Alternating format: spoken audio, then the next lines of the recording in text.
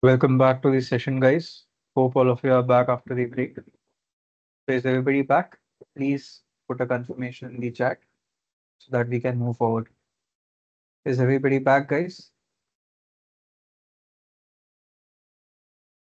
Yes or no? Is everybody back?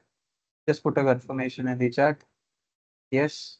Okay, I received a message in the chat. Perfect. So let's move forward, guys.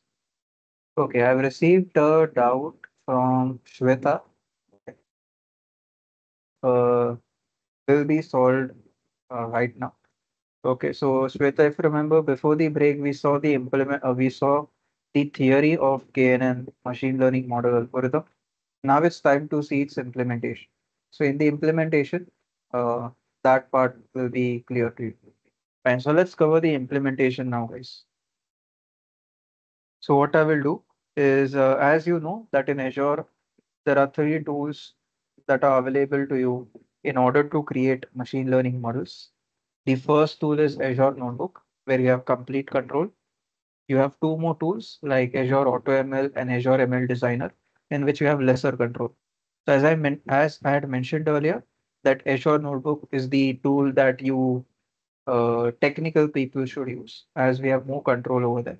But the thing is, in Azure ML uh, with Azure Notebook, uh, yes, I'll be able to write code. I'll be able to have a lot more control. But the thing is, whatever code I execute, some amount of money will be deducted from my subscription. So to not have that, what I will do is I will try to open another notebook called Jupyter Notebook. This Jupyter Notebook is installed in my local laptop. It's not installed in Azure server. It's installed in my own laptop. So in Jupyter Notebook, if I write any code, no amount of money will be deducted. But remember the same code that I write in Jupyter Notebook, you can write the same code in Azure Notebook as well, and it will work in the same manner. It's just that in Jupyter Notebook, the code that I write, no amount of money will be deducted. Whereas in Azure Notebook, some amount of money will be deducted. So to not have any money deducted, I'm choosing Jupyter Notebook. Right. So let me create a coding file over here. And this is where I will write the code to implement our first machine learning model algorithm called KNN. Before the lunch break, we already saw the theory of KNN. If you remember, Parag helped us to revise the theory of KNN. Now it's time to see the implementation. Okay, so remember guys that KNN is a supervised learning model and within supervised it is used for classification category.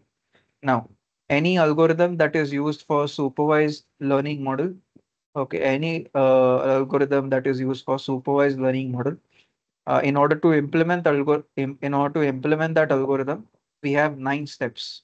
Okay, so in order to implement any algorithm, in order to implement any algorithm used for supervised machine learning, supervised machine learning, there are a total of nine steps. The first step, the first step is to make sure that the data is clean. And when I say uh, the word clean, what do I uh, mean? So there are many things that comes under cleaning. So one of the things that comes under cleaning is to make sure that data should not have any missing values. Another thing that comes under cleaning is data should not have any spelling mistakes. Okay, it should not have any incorrect values and so on. Okay, but one of the major things that comes under cleaning is to make sure that data does not have any missing values. Okay, fine. Then second point to implement or the second step to implement is to make sure that we extract the features and target separately.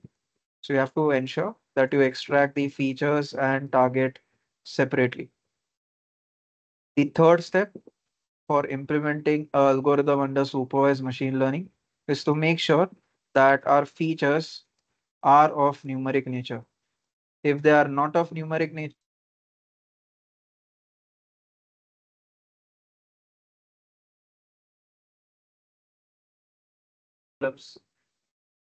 Okay, sorry, I think I got disconnected in between. Uh, so my voice might have not been audible to you guys. Sorry about this issue. It's uh, because of my internet. It seems in the last few days, uh, Jio's internet is not working well. But anyways, moving forward. So just to recap, I you might have missed what I was saying due to that internet connection issue. So just to revise, uh, so what I said was before the lunch break, we saw how to implement our first machine learning model algorithm called KNN. Now it's time to see its implementation. So in order to implement any algorithm that is used for supervised machine learning, if you remember, KNN is also used for supervised machine learning. So any algorithm that is used to used for supervised machine learning, in order to implement that algorithm, there are a total of nine steps, out of which three steps I have already written. First step is to make sure that data should be clean. There are many things that you need to check for a clean data. First thing is you need to check that data should not have many missing values. Second thing, you need to check that data should not have any spelling mistakes, there are no incorrect values, and so on. But the major thing that you will see under cleaning the data is to ensure that data does not have any missing values. Second step that you will perform is to extract the features and targets separately. Third step is to make sure that features are of numeric nature. Fourth step is to make sure that uh, features are of the type array or data frame. Okay, since I'm implementing it in Python, the feature should be of a type array or data frame. Array and data frame are two different Python data structures. Okay, so your feature should be one of these types. Uh, it should either be in the form of an array or it should either be in the form of a data frame. The fifth step for implementing the algorithm uh, is to make sure that features should have some rows and some columns. Okay, this might seem like a very basic step. You might feel that even if you skip this step is fine, but I will show you a scenario where this step is not being followed, or I should say this rule is not being followed. And what will be the issue of that? I will show that to you. Okay, so it's important. It looks very basic, but it's not. It's a very important step. Do not skip it. Do not skip any of these steps that I'm going to write down. Fine. So out of nine steps, I've already written five. Now it's time to move on to my sixth step. So sixth step is to make sure that we split the data into two parts, training and testing. Training and testing. Okay, fine. After doing that, what I will do is I'll move on to my seventh step, which is to make sure that the features are on the same scale. Now, what do I mean by the term scales, same scale? I will explain that to you in detail, so don't worry about it. The eighth step then is to train the model on the training data set. Train the model on the training data set. And then the ninth and last step is to test the model on the testing data set. Test the model on the testing data set. Okay, so coming to uh, one doubt that one student had mentioned earlier. So I guess it was mentioned by Shweta. So let me address that doubt. And there is another doubt that Saravanan has mentioned. Uh, Saravanan, uh, duplicates are fine unless it is incorrect value. Okay, see in the data, you will have lots of rows, you have crores of rows. It's fine if a value is being uh, uh, rewritten again. What I mean to say is there should not be incorrect information in the data. Okay, so for example, in the first row, uh, if you have a feature value of 10, in the third row also if you have feature value of 10, that's okay. Okay, as long as it's a correct value that you have written. Okay. Right. So when I say data should be clean, one of the things that you need that you need to do is to ensure that data should not have any missing values. Second thing that you need to do is that it should not have any incorrect values and so on. Okay, fine uh, we'll, when we'll implement this, it will make more sense. Okay, coming to Shweta's doubt. Okay, so Shweta, uh, let's try to understand. So you wanted to check, uh, I guess to read your doubt again, you wanted to check uh, how do we calculate the performance of the model, right? So let's go ahead and let's see it. So you use the term accuracy. So how do we calculate that? Let's see. So Shweta, what we do generally is, let's suppose we have some data with us Okay, in that data, suppose I have some rows and columns with me. Uh, let me assume some information over here. Let's suppose I have a age column, experience column, and gender column. And let's suppose I have six rows within it. Okay. So let me put in some values. I'll just go ahead, put in some values over here. Let me put in some values.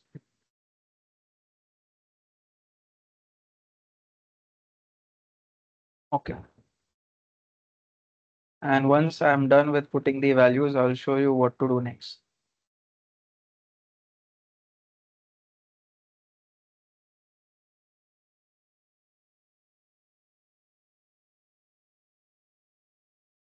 Okay, now let's go ahead. Now what we generally do over here, Shweta, is from my overall data, I put some rows and uh, put it into a separate data set called training data set, whereas the remaining rows I put it into testing data set.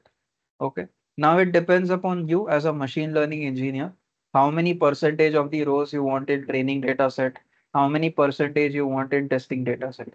So let's suppose here, Shweta, just for simpler understanding, we are splitting it in a 50-50 manner that 50% of the rows will go into training, let's assume, and 15% of and 50, 50% of the rows will go into testing. Okay, so Shweta, here I have a total of six rows. So if I say 50% into training data set, 50% into testing data set.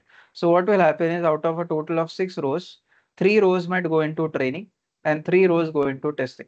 Let's say just for the sake of the example that I want the first three rows go, to go into training and then the last two rows to go into testing data set. Okay. Remember, Shweta, that we only train the model on which data set, Shweta? We train the model on which data set, training data set or testing data set? What do you think?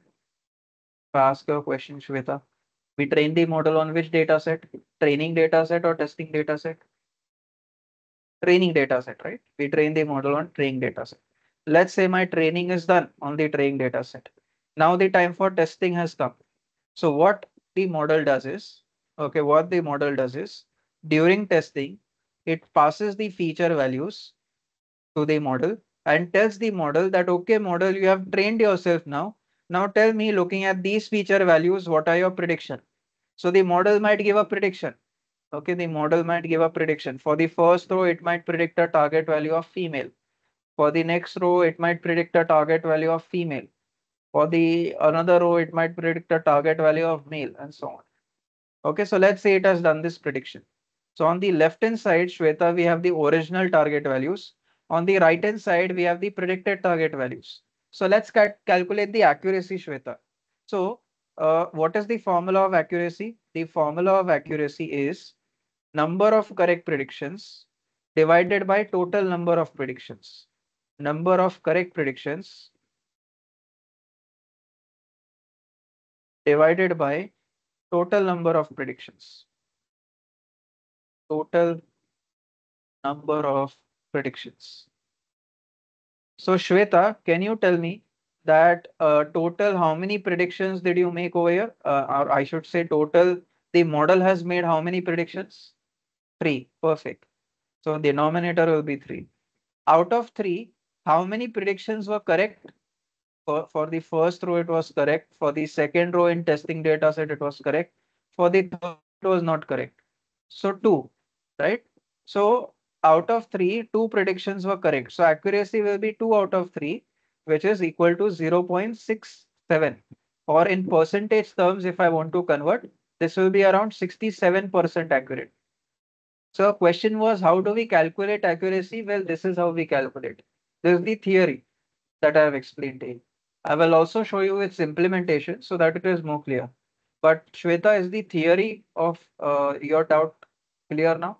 You had asked some doubt earlier. Is the theory of that clear? If not, let me know. Yes, clear? Okay. Fine. So let's go ahead.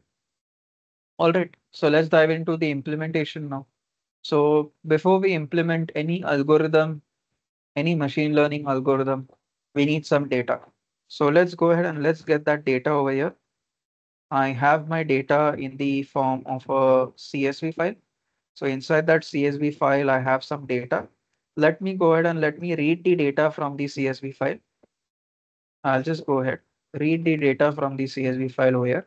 And let's see what data do we have inside of that CSV file. Let's check. I will read it in such a way that I convert that data to a tabular format. And let me show you that data in tabular format over here. Here it is. So guys, here I have data of iris flowers. So what scientists did was they tried to record information about some iris flowers in the forest. Okay, uh, so they recorded information about a total of 150 iris flowers. 150 iris flowers. For each iris flower, they, uh, they have recorded information in one row. So in the first row, they have recorded information about the first iris flower. In second row, they have recorded information about second iris flower and so on. So like that, they have recorded information about 150 iris flowers across 150 rows. Okay. And uh, what they have done is they have recorded a lot of information. So first they have recorded the species of the iris flower. Now there are only three species of iris flower. Either these species will be, uh, either these species over here will be Iris setosa. Let me write it down. Iris setosa or the species will be iris versicolor or the species will be iris virginica. These are the only three species of iris flower available in the world. Okay. These are the only three species of iris flowers available in the world. Fine, so they have recorded the information about the species of the iris flower. Okay. After that, uh, they have recorded information about the petal width of that iris flower. Then they have recorded information about the petal length of that iris flower. Then they have recorded information about sepal width of that iris flower. Then they have recorded information about sepal length of that iris flower.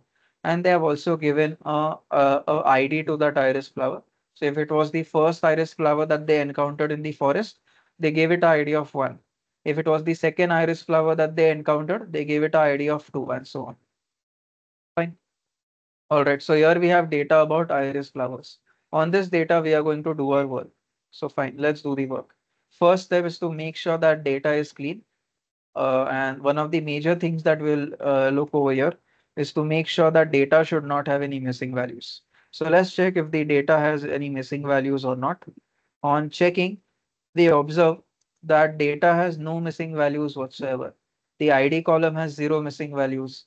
Sepal length column has zero missing values. Sepal width column has zero missing values. Similarly, the remaining columns also have zero missing values. So we do not have any missing values whatsoever. Okay. Uh, there are other things that you would do in data cleaning. Uh, for example, you will check whether there are incorrect values or not and so on and so forth. However, here due to lack of time, I won't do that.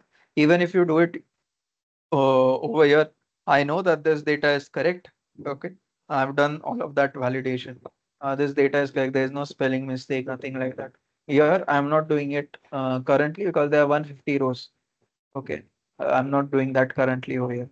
Anyways, uh, due to lack of time, I'm not checking for spelling mistakes. But even if I check, I won't find any. So that's good. Okay. Now, second step is to make sure that uh, we extract the features and targets separately. So let's do that. So here, guys, my target column is this column called species. Okay. Remember, there are three species of iris flowers. Either the species will be Iris setosa, or the species will be Iris versicolor, or the species will be Iris virginica. These are the, these are the only three species of iris flower. So that means if this is your target column, if species is your target column, and if in your target column you have finite set of possibilities, then you will be building a classification model. And we know that KNN algorithm can use be can be used for classification purposes. So fine, let's implement KNN now.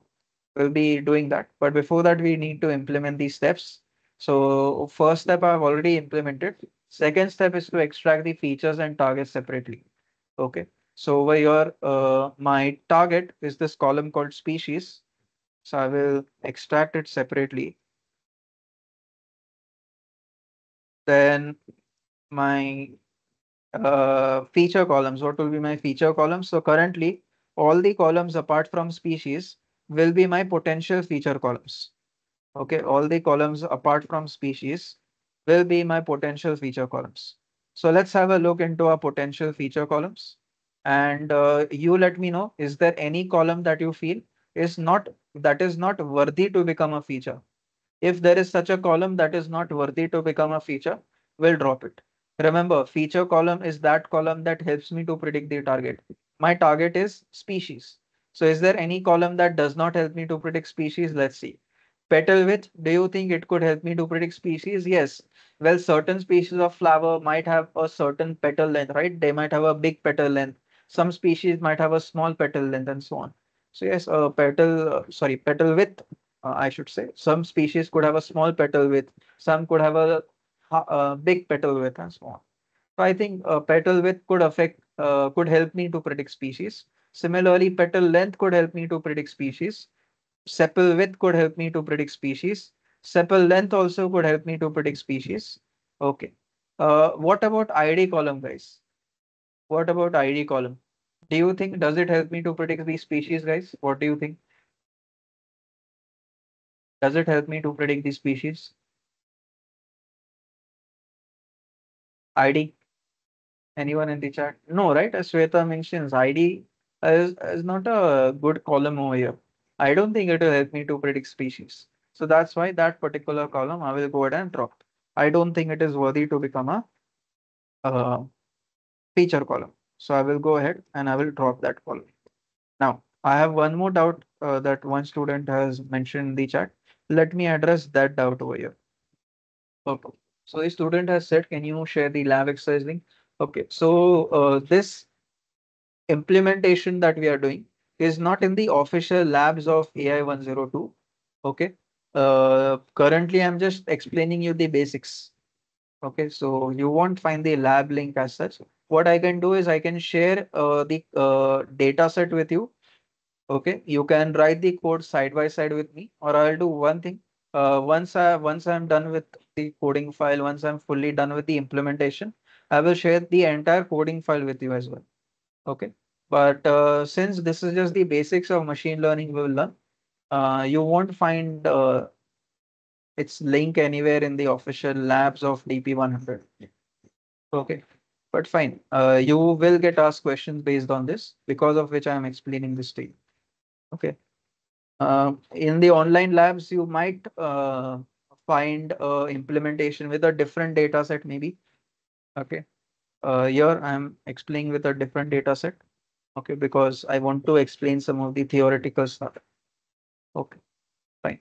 So I'll do one thing just so that you have this implementation file with you. At the end, I will show you this implementation file. I will share the coding file. Okay, Raghu says it looks same as Google Colab. Yes, Jupyter Notebook is almost the same as Google Colab. Okay, it's just that Google for Google Colab, you don't have to download, right? Uh, whereas for uh, Jupyter Notebook, uh, you need to download Jupyter Notebook in your laptop. Okay. So Saravanan, is your doubt clear, buddy? Or some other doubt you wanted to ask, then let me know. Clear, Saravanan? If there's some other doubt, you can let me know, guys. Fine. Uh, let's move forward. So over here, what we are doing is we were into our second step. Okay. Now let's move forward. And uh, currently I have an issue with this step. Let's try to understand what that issue is. So what have I done? Uh, any mistake in my code as such? Let's try to understand. And uh, the mistake, is there a mistake over here? I don't think there is a spelling mistake as such. Hmm, mistake that I've done in my code. What other mistake could I be doing? Let me check the error ID not found. Why? Have I already removed it? Or have I written the code uh, multiple times? Okay, yes, I uh, ran the code multiple times because of which there was an issue. I'll do one thing. I'll run the code from start so that we don't have any issue whatsoever. Fine, it's done. Okay, now you can see I don't have any uh, error in my code whatsoever. Okay, with this, I'm done with my uh, second step over here. Now, let me move on to my third step. Third step is to make sure that features are of numeric nature. So let me go ahead and check if features are of numeric nature or not. You can check the values in the feature columns. All of them are of numeric nature. Okay, all of them are of numeric nature. You can see the type. So in sepal length column, all the data values are of the type float. Float is one of the numeric data types. Similarly, in the remaining columns also, all the values are of numeric data types. Okay, so fine. Our third step is done. If suppose if any feature value, feature column, I should say, if any feature column did not have numeric values, then we would convert it to numeric values. Today, I will show you one other example where uh, in a different data set, this rule will not satisfy. So in that scenario, what to do? Uh, how would you convert a feature column that does not contain numeric values to numeric values? I will explain that to you, so don't worry. Fine, third step done. Now, moving on to my fourth step. Fourth step is to make sure that features are of uh, the type array or data frame. So let's go ahead and check if they are of the type array or data frame.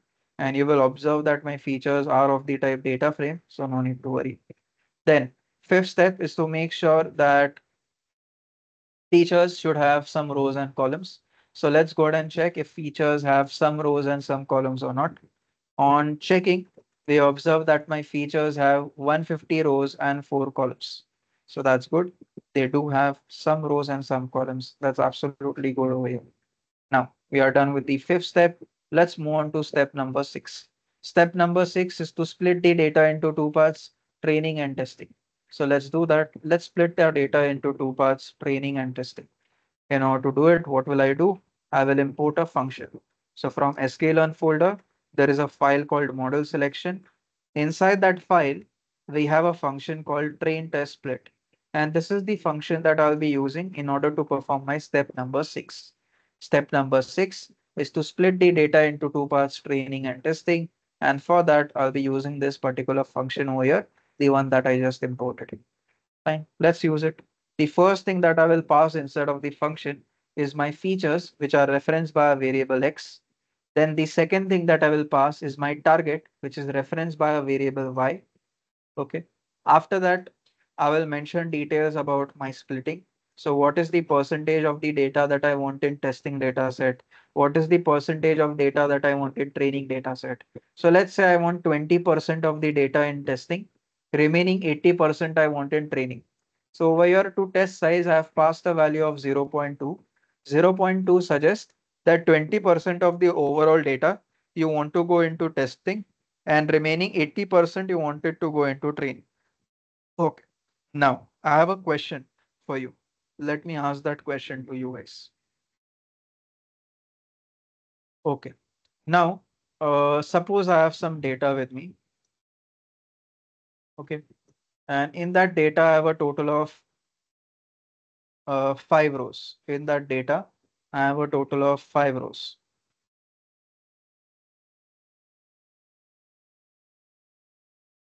Let me assume that we have a data of five rows. Okay, now uh, let me uh, ask this question to you. So suppose what we want to do is, let's suppose I want to have 60% of the rows in training and 40% of the rows in testing. So in total over here, currently I have five rows. 60% of five is three. So that means three rows will go into training and two rows will go into testing. Now the question to each and every one of you is, I want three rows in training. Okay. So is it like I will always get the first three rows in training or the last three rows in training or the three rows in training data set are selected at random? What do you think happens? I want three rows in training. How do I get those rows? Do I get the starting three rows in training, the ending three rows in training, or do I get the three rows randomly? So Pragnya and Manoj are absolutely right. I get the three rows randomly. Perfect. So one answer you have correctly answered. Sorry, one question you have correctly answered. Now I want, uh, uh, I will ask you a second question. Okay. So, uh, Pranav, tell me this one thing, buddy. Uh, let's say I'm uh, giving the model rows into the training data set. Remember, Pranav, that these rows will be called as examples. So if I'm giving three rows into the training data set, they will be treated as three examples. Each row to the model acts as an example. The more examples you give, in the training data set, the better it will be for your model. Just like Pranav, if I'm training you, the more examples I give, the better it will be for your performance. Similarly, to the model also, the more examples you give in the training data set, the more rows you give in the training data set, the more better it will be for the model. Okay. Now, uh, so Pranav, one thing to remember is the quantity of the rows in the training data set. You should have as many rows as possible. Okay. The second is quality as well. So Pranav, apart from quantity, can I say quality of examples also matters? So for example, Pranav, if I give good examples to you, you will understand it well. However, if I give bad examples to you, your performance will not be good, right? So apart from quantity of examples, quality also matters, right? So that also matters. Okay, fine. Uh, now uh, let's go ahead. Okay, so suppose guys, uh, in my data, I have a total of five rows. Okay, out of those five rows, or I should I should say out of those five examples, uh, first three examples are good. The remaining two examples are bad. Okay. Uh, by bad examples, let's say there are there are uh, there is some uh, you can say outliers, uh, outlier values. Okay. Outlier values means odd man out values, a value that is very different from the rest of your data. Okay. And such outlier values uh, do affect your uh, model performance. How do how does it affect? So let's understand first how does outlier affect model performance. Then we'll come again back to this example that I was looking with Pranav. First, let me explain to you how outlier values affect model performance. Affect the model performance. Okay. So Pranav, I will need your help, buddy. So what I will do is I will uh, enable mic for you and uh, let me do this. I will need your help. So one second, let me enable your mic and I will need your help. Okay, so let me click on this button for allow mic. So I guess, huh. Yeah. So Pranav, uh, now first we'll try to understand how outlier values affect performance. Let's understand. So let's assume Pranav that you are the principal of a school. Okay. And uh, we have first standard students in your school. Let's assume first standard students or first grade students. In some states, you call it first grade. In some states of India, you call it first standard. Okay, so let's suppose we have first standard students over here. Okay, and uh, what you want to do is you as a principal are uh, uh, responsible for uh, creating benches for those students. Okay, so uh, you as a principal, can I say Prana, what you will do is uh, you will find out what should be the height of the bench for first standard students and pass out that pass on that information to the furniture company, correct? Yes. Okay. Now, Pranav, let's assume you have some uh, people in your first standard, okay? And let's say uh, one student has a normal height in first standard. He has a height of 2.2 feet. Okay. Another student has a height of 2.3 feet. Okay. But now you have some uh, outlier values. Let's say in first standard, you have one student whose height is 7 feet. You have another student whose height is 7.1 feet and so on. Okay, so you tell me first, Pranav, that can I say these last two students' heights are odd man outs or outliers? Yes. Okay. Now, how will it affect uh, the thinking? Let's understand. So, Pranav, let's say you are the principal, you are going to be the one who will find out the correct height for first standard students. So can I say first what you will do is you will calculate the height of all your first standard students and find out their average height, correct? Yes. Okay. So here the average height of them is what? Uh, if I use the calculator and find out their average height, let's see. The average will be somewhere close to 4. Okay, so it's 4.65. So you will say, tell the furniture company guy that create a bench assuming that the average height of the student is 4.65. Correct, Pranav? Yes. Now, But it is because wrong. of that, Mm. uh, because of that, can I say, yes, the last two students will still be able to work on that bench? Right? Right? Yes. So, uh, yes. but these first two students will not be able to work. Because, I mean, you are asking the furniture guy to create a bench assuming that the average height of student is 4.65 feet. So what about these small, small height students? It will, the, this bench will be too big for them. So they will not be able to work. So you're understanding, Pranav, that just because of presence of outliers, how our entire uh, output is changing in a negative way. Correct. Correct? Fine. However, if we didn't have outliers, then you would have just proceeded now normally. If you didn't have outliers at all, okay, let's say you had normal values only, then you would have just proceeded normally as it is. You would have calculated the average height of uh, students over here, whatever is the average height, and you will make the bench accordingly. Uh, uh, you will give that order accordingly to that furniture guy.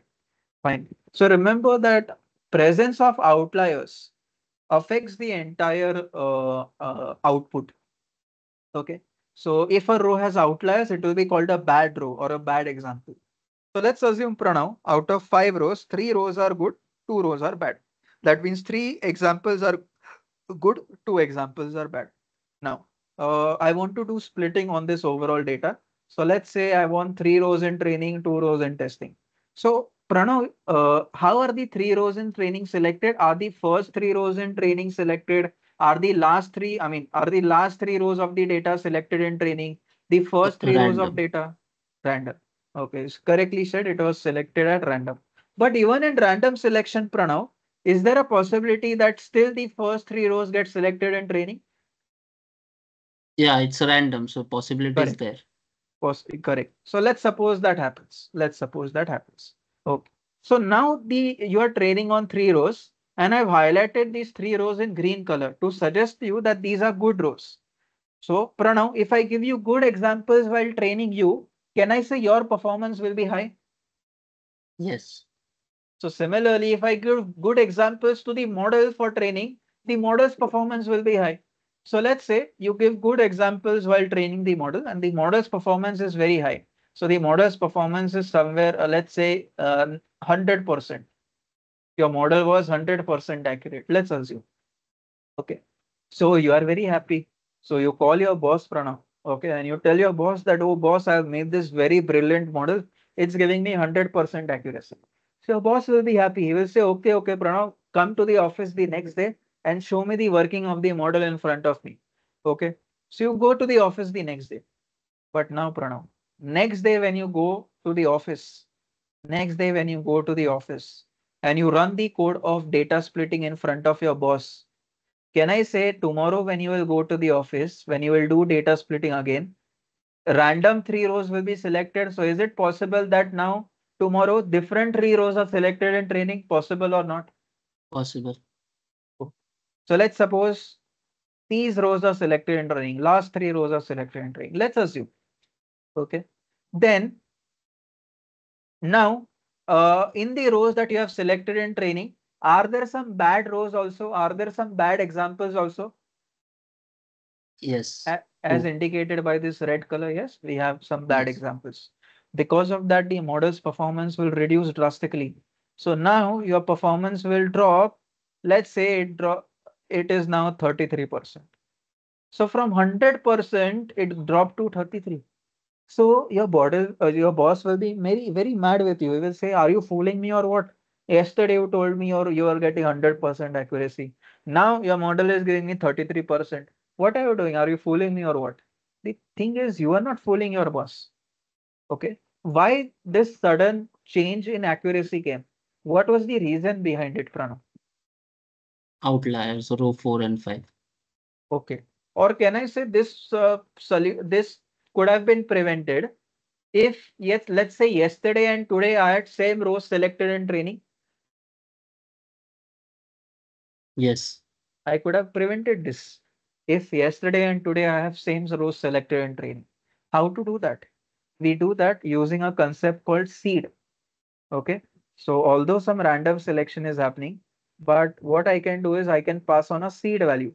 and any seed value I can pass, any real number I can pass. The thing is, if I pass this seed value of 10 today, and if I pass this seed value 100 years later, then today and 100 years later, I will get the same set of rows in training and testing.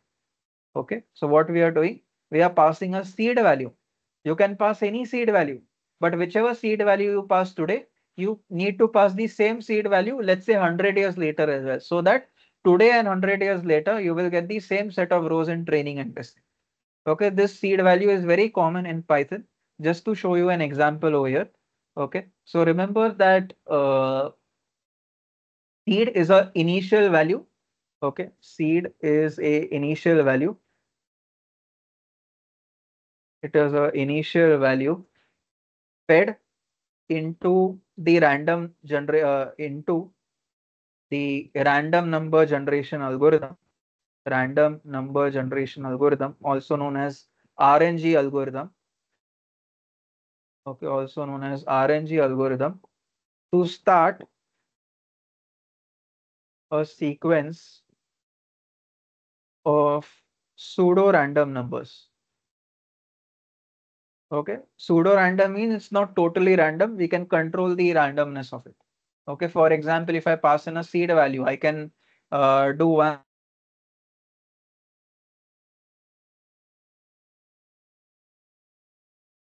Reduce that. Okay, so fine. Uh, so to have uh, this randomness generated, I can go ahead and pass a seed value. Okay. Uh, so what does the seed act? It acts as a starting value at our it acts as a starting point for the sequence. Seed acts as a starting point for the sequence. Starting point for the sequence. Okay, so fine. Uh, so over here, let me go ahead and let me explain it to you with the help of an example. Okay, let me explain it to you with the help of an example. Let's see whether I have this random uh, library import working. Yes, it works. So now what I will do is suppose I'm setting a seed value of 42. Okay. Uh, so let me go ahead and let me print three random numbers. I'll go ahead and I'll print three random numbers over here. Let me do that. So this is the first one. Okay, currently I have a, a error. Yes, let's correct some syntax issue and this is the first one. Uh, this is the second one. Okay, this is the third one. Now let me pass the same seed value again. So what will happen? Again, the starting point will be from this particular value only and have a look. If I go ahead and generate random numbers again, have a look. So previously, the first number that was generated was 0.63. Now also it is 0.63. Previously, the second number that was generated was 0.02. Now also it is 0.02. Previously, the third number that was generated was 0.27. Now also it is also 0.27. Okay. So with this seed, we can make sure that every time when we run the code, we get same sequence of pseudo random numbers. Coming to our machine learning problem, we wanted the same sequence of rows in training and testing every time. So for that, you can pass a seed value over here if you want. Okay, so let's say I'm passing a seed value of 10 today, and I'm passing a seed value of 10 100 years later. Then today and 100 years later, I will get same set of rows in training and test. And remember to this seed value, you can pass any real number, any real number will work. But whatever seed value you pass today, you have to pass the same seed value later on as well. So that today and later on, you get same rows in training and testing. Okay, remember this. Fine. Now, there is one more problem that will arise in train test split. Let's understand that problem first. Once we understand the problem, we will figure out the solution to that problem. So let's understand the problem that can arise in train test split. Okay, and based on this, a question is asked in the exam, in your DP100 exam. Fine, let me show you the problem. So suppose I have a target column. Okay, and what I'm doing over here, guys, is let's say every day uh, I'm trying to search for Mars planet through my telescope. Okay, let's suppose I have a telescope at, at my home, and through that telescope, every day I'm trying to search for a Mars planet. Uh, so if I find the Mars planet on that day, then I will mention that I have found a Mars planet. If I have not found the Mars planet, then I will mention that, okay, on that day, I have not found the Mars planet and so on. So let's have some data like that. Okay. In that data, let's suppose what happened was on the first day, uh, I did not find a Mars planet. On the second day, I did not find a Mars planet. On the third day, I did not find. On the fourth day, I did not find. On the fifth day, though, I did find a Mars planet. On the sixth day, I did find a Mars planet. On the seventh day, I did find a Mars planet. On the eighth day, I did find a Mars planet. Fine. Now, let's move forward. Let's suppose some of the rows I wanted training and some of the rows I wanted testing. So let's suppose four rows I wanted training and the remaining four rows I wanted testing. Okay. Now let's see a problem that could arise. Now, Pranav, as you mentioned earlier as well, but just to ask that question again to you, I want four rows in training, four rows in testing. Fine. So four rows in training first. Are these four rows uh, selected at random or is it like first four rows will go into training or last four rows will go into training? How are the four rows selected in training? Random. Random. But even in random selection, as you had mentioned earlier, there is a possibility that even in random selection, let's say the first four rows go into training. There is a possibility like that.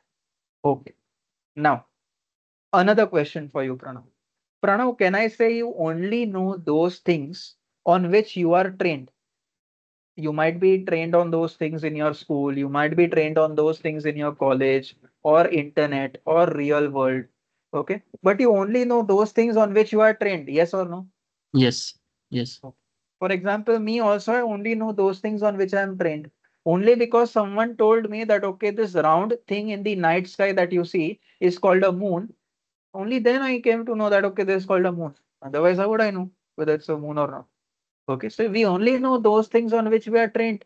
Similarly, the model will also know only those things on which the model is trained. Other things it won't know. Okay. So Pranav, my model is trained on how many examples currently? Only one, not Mars. Uh, Uh, no, no. record. In total, how many rows? Four. Four. Okay, so four examples. Perfect. Now, Pranav, as you mentioned, in any of the examples, have I mentioned even one example of Mars? No. No. All the examples are of not Mars only. I have not even mentioned one example of Mars, because of which the model won't know that such a target value even exists. I'm not passing even one example of Mars. So how will my model know that such a target value of Mars exists? It won't know. If it does not know that such a target value called Mars exists, Pranav, will it ever be able to predict such a target value called Mars? Never. No. If it does not know that such a target value called Mars exists, how will it predict it? It will never ever predict it. This is the big problem. Agreed, Pranav? This is a big problem. Yes. Yes. True. Okay. Now, how to solve this problem? Let's see how to solve this problem. For that, guys, we will use a statistical technique. Sorry, I removed that code by mistake. Okay, no issues. I'll introduce that code again. I'll introduce that code again over here. By mistake, I removed it. And uh, coming to the solution to that problem. So where Pranav uh, has uh, found out uh, the problem that the problem is it could happen that we were not we are not passing even a single example of other target values in the training data set. Okay, so in that scenario, what to do? In that scenario, what you can do is you can use this technique called stratification. The idea behind stratification is that the proportion proportion of target values that are present in the original target column, the same values should be present in training and testing data sets as well. Okay, so what it says is, let's say uh, in the overall target column, the value not Mars has occurred 60% of times and the value Mars has occurred 40% of times. Then in training data set also, it should occur 60-40 ratio. In testing data set also, it should occur in 60-40 ratio, like that. So let's understand. So Pranav, in my original target column, the value Mars and not Mars are occurring in which proportion? Is one is to zero. Not Mars Okay. Or no, no, in my overall target column. overall. So it's Ah. 50 50. 50 50 perfect so over here the value not mars and mars is occurring 50 50 percent of the times. Not mars is occurring 50 percent mars is occurring 50 50 percent. So the theory of stratification says that do the splitting in such a manner that this ratio exists in training data set also and this ratio exists in testing data set also. Let's see how will we do it. So let's have some four rows in training four rows in testing first. So apart from maintaining the splitting ratio, we'll also maintain the stratification ratio. Let's see how. First, let's try to maintain the splitting ratio. Okay, so what could happen is we could have, let's say, these rows in training data set. These rows in training data set. Okay. Because we know the rows in training data set are selected at random. Uh, the remaining rows could be in the testing data set. The remaining rows could be in testing data set. Okay, once that is done, I will show you what to do next. Now have a look, Pranav. Do we have four rows in training, four rows in testing? First, tell me that. Yes. Yes, we do have. So fine. Now, stratification ratio stated that same proportion that was same proportion of target values that was uh, uh, in present in the original target column, same proportion should be there in training and testing data sets as well. So in the original target column, the value Mars and not Mars were occurring 50-50% of the times. Let's see now. In the training data set, let's see. In the training data set, we have this value. First, I'll just mention the rows in training data set. These are the rows in training data set, the one that I have selected in green. Have a look into the rows of training data set, uh, Pranav. The value not Mars and Mars in training data set, is it occurring 50-50% of times? Yes, it's occurring. Yes. And even in testing data set, you can check. Even in testing data set over here, you can check. Here are the rows of my testing data set, the one that I have drawn in blue. And even in testing data set, the, Mar the values not Mars and Mars are occurring 50-50% of times. Yes. Okay. Uh, because of that stratification uh, ratio is solved. And because of that, let's see whether our issue previously that we had is solved or not. Previously, our issue was that in the training data set, there was not even one example where the planet was a Mars planet, because of which the model does not even know that such a target value called Mars exists. If it didn't even know that such a target value called Mars exists, how will it predict it? Now, Pranav, are we in the training data set, are we passing enough example of both the target values? Yes. Yes. Yes. So now the model will be able to uh, know that, okay, we have these target, such target values with us. So it will be able to predict those. Okay.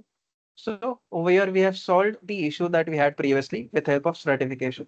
Pranav, one last question for you. This theory of stratification is applied on which type of column? Target. Target, correct. And okay, so I'll apply stratification on my target column. You tell me, Pranav, my target column is referenced by which variable? Uh, the last species, I mean y. Y, perfect. So over here, I will just say stratify equal to y. That's it. Okay, that completes my code for sixth step. And what I'll do, it will split uh, the data into training and testing. First, my features will be splitted. My features are referenced by variable x. So it will split it into two parts, x train and x test. Then my target, which is referenced by variable y, will be split into two parts. So I'll get y train and y test. With this, one second, I have some uh, spelling issues in my code. I'll correct it and you can see my code works. Okay, moving on to my step number seven. Step number seven is to make sure that features are on the same scale. So let's go ahead and check if the features are on the same scale or not. Okay, what do I mean by the term same scale? Let's understand. Okay, so suppose guys, uh, we had uh, features, okay, that have different different ranges. Okay, let me show you an example. We have features having different ranges.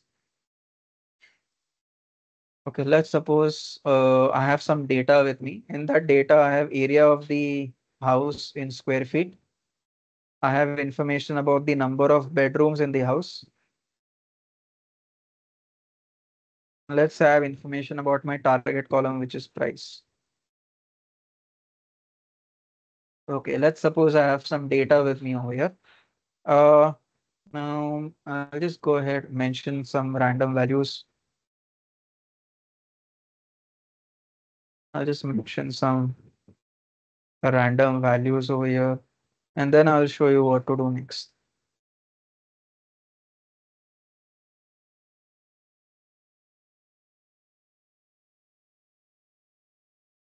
Okay, and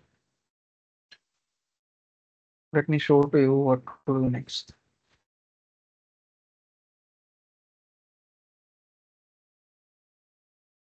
Okay, fine. So suppose over here, uh, the last column is my target column. And the remaining columns are my feature columns. Now have a look into your two feature columns, Pranav. I will need your help. Sorry to bother you again, but I'll need your help one more time. Have a look into your two feature columns over here, Pranav. Uh, are the two feature columns of a different range? Hmm, yes. Yes. My size for feature column will uh, typically range from, let's say, 100 square feet to 5000 square feet, right? Whereas number of bedrooms can range from 1 to 5. So Yes. because of this, what will happen is the feature column having a higher range will always dominate a feature column having lower range. Okay. Wha- How? Let me show that to you. How? Let me show that. So let's say I'm going ahead and uh, uh, you know doing my uh, KNN task. In KNN, uh, do you remember we find out the distance between two points? Yes. Right. Okay, so let's suppose I'm finding out the distance. Uh, let's suppose with respect to my unlabeled data point, I'm finding out the distance. Let's suppose. So here I have a unlabeled data point. Put something like this.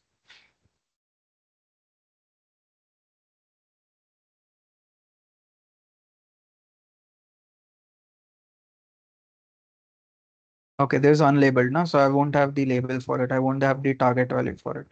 Okay, so with respect to that, let me calculate distance of the other labeled data points. Okay, fine. So let me calculate distance of the unlabeled data point with respect to this point.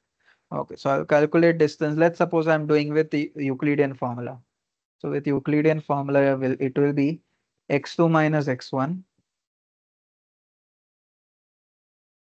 the whole square plus y2 minus y1 the whole square. So this should be 100 square plus 0 square. 100 square is what? 100 square is uh 10,000, I believe. If I'm not wrong, 100 square is 10,000 Yes. and root square root of 10,000 is 100 only. Okay. So the distance between my unlabeled data point and the first labeled data point is equal to 100. Agreed, Pranav? yes. Okay, so over here I found out the distance, it is equal to 100. Okay, now, okay, now suppose guys, now let's suppose in a feature column, as I mentioned, if a feature column has a higher range as compared to its fellow other feature columns, the feature column having higher range will always dominate the calculation. Okay, it will always dominate the calculation. And let me show that to you. Okay, so let's suppose original distance was equal to 100. I'll mention it over here that original distance that I found out was equal to 100. Original distance was equal to 100. Now let me do some slight change. What I will do is, uh, let's suppose I have a slight change in the feature value. Okay. Uh, instead of 200, uh, 2000, let me reduce it by, uh, let me reduce it by a factor of 10%. So 2000 minus 10% will be what? Eighteen hundred. if I'm not wrong. 1800. Correct, Pranav? Yeah. Okay. So just to show to you that why am I saying that a fe feature column having large range values will dominate a feature column having low range values. Let's see. Okay, let's see. Uh, now, uh, let me show you this. Uh, let me calculate the distance again. So this will be square root of x2 minus x1 the whole square plus y2 minus y1 the whole square. Okay, and uh, instead of uh, reducing this by 10%, why don't I reduce it by 20%? Let's do that. That will be more better. Or 20. Let me reduce by 30%. Okay. Just so that I'm uh, arriving at a, example that is more understandable to you. Okay, fine. I've reduced it by 30%. So this will be uh, my Euclidean distance formula will be x2 minus x1 the whole square plus y2 minus y1 the whole square. Okay, so there should be 500 square, okay, plus 0 square, uh, 500 square plus 0 square. And the entire thing I'll put it on square root, so this will be equal to 500. Okay, so now have a look. Uh, so have a look over here, Pranav. If I do a change in my uh, feature column that has a higher range, okay? If I do a change in my feature column that has a higher range, what is the distance coming out to be? 500. Okay, so let me write it down that if I do a change in a feature column having higher range, okay, having higher range. In that case, this is the distance that is coming out to be. Okay, fine. What change did I make? From 2000, I reduced it to 1400. That means I uh, reduced uh, the feature value to minus 30%. Agreed, Pranav? Yes. Okay. Now let me do this one thing, Pranav, here. I will do a change. I will do a change right now. But now instead of doing a change in the feature column that has a higher range, let me do a change in the feature column that has a lower range, something like this. So 5 value, if I reduce it by 30%, what will I get? Mm, 3.5. 3.5. Okay, let me write down 3.5 over here. Okay, and have a look. Let's calculate the distance again. Okay, so this will be 2000 minus 1900 the whole square plus 3.5 minus 5 the whole square. So this should be 100 square plus 1.5 square. 1.5 square comes out to be what? 1.5 square. Let me use calculator for the same. So 1.5 square. Okay, so 100 square is 1000 plus 2.25. Sorry, 100 square is 10,000 plus 2.25 is this. I will take the square root of it. Okay, so it comes to around 100.01. 100.01. 100.01. Okay, so now have a look over here. Can I say I did the same percentage change in a feature value having a lower range over here, Pranav? Can I say that? Mm. Yes. Same percentage change, na 30%. 30%. Okay. So previously, when I did it on a higher range column, can you see from 100, it changed to 500.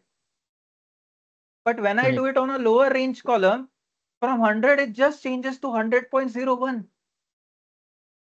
So can yes. I say a column that has a higher range has a lot of influence currently? Yes. Why should I have this column having a lot of influence? Is there any reason why size should matter more than bedrooms? Currently, I don't think so. Let me keep the uh, importance same now for all feature columns. Okay, why yes. should I have a column having more influence as compared to some other feature column? This should not happen. Okay, so in my opinion, this should not happen that a column having higher range has more influence over a column having lower range. Okay, so to avoid this, what to do? Okay, let's go ahead and let's see guys. Okay, to avoid this, what you can do is you can use the concept of scaling. Okay, you can use the concept of scaling. And uh, let me show that to you. With scaling, what will happen is all the feature values will form within one range. Okay, uh, the values of all feature columns will be converted into one range only. Okay, so it will not be that uh, some feature column has very high range of values. Some feature column has very low range of values. With that, what could happen is the column having high range of values will always dominate the column having low range of values. That should not happen. So fine. Let's see how to avoid it. For that, what we'll do is we'll convert the feature columns to the same scale. Okay, let's see how to do it. There are many scaling techniques. I will use one scaling technique over here called min-max scaling. And let me go ahead and let me show to you how it would work. Okay, so suppose I have a feature column with me in which I have some values. Let's suppose the values are 10, 20, 30, 10, 20. And what I'm trying to do is let's suppose I want uh, three rows in training, two rows in testing. Let's assume these are the first three rows that go into training and the remaining last two rows go into training. Let's suppose even out of random selection, this is what happens. Fine. Now let's go ahead. Now how do how does min-max scaling work? So remember in min-max scaling, what happens is minimum value gets converted to zero, maximum value gets converted to one, and the remaining values get converted using the formula x minus x-min divided by x max minus x-min.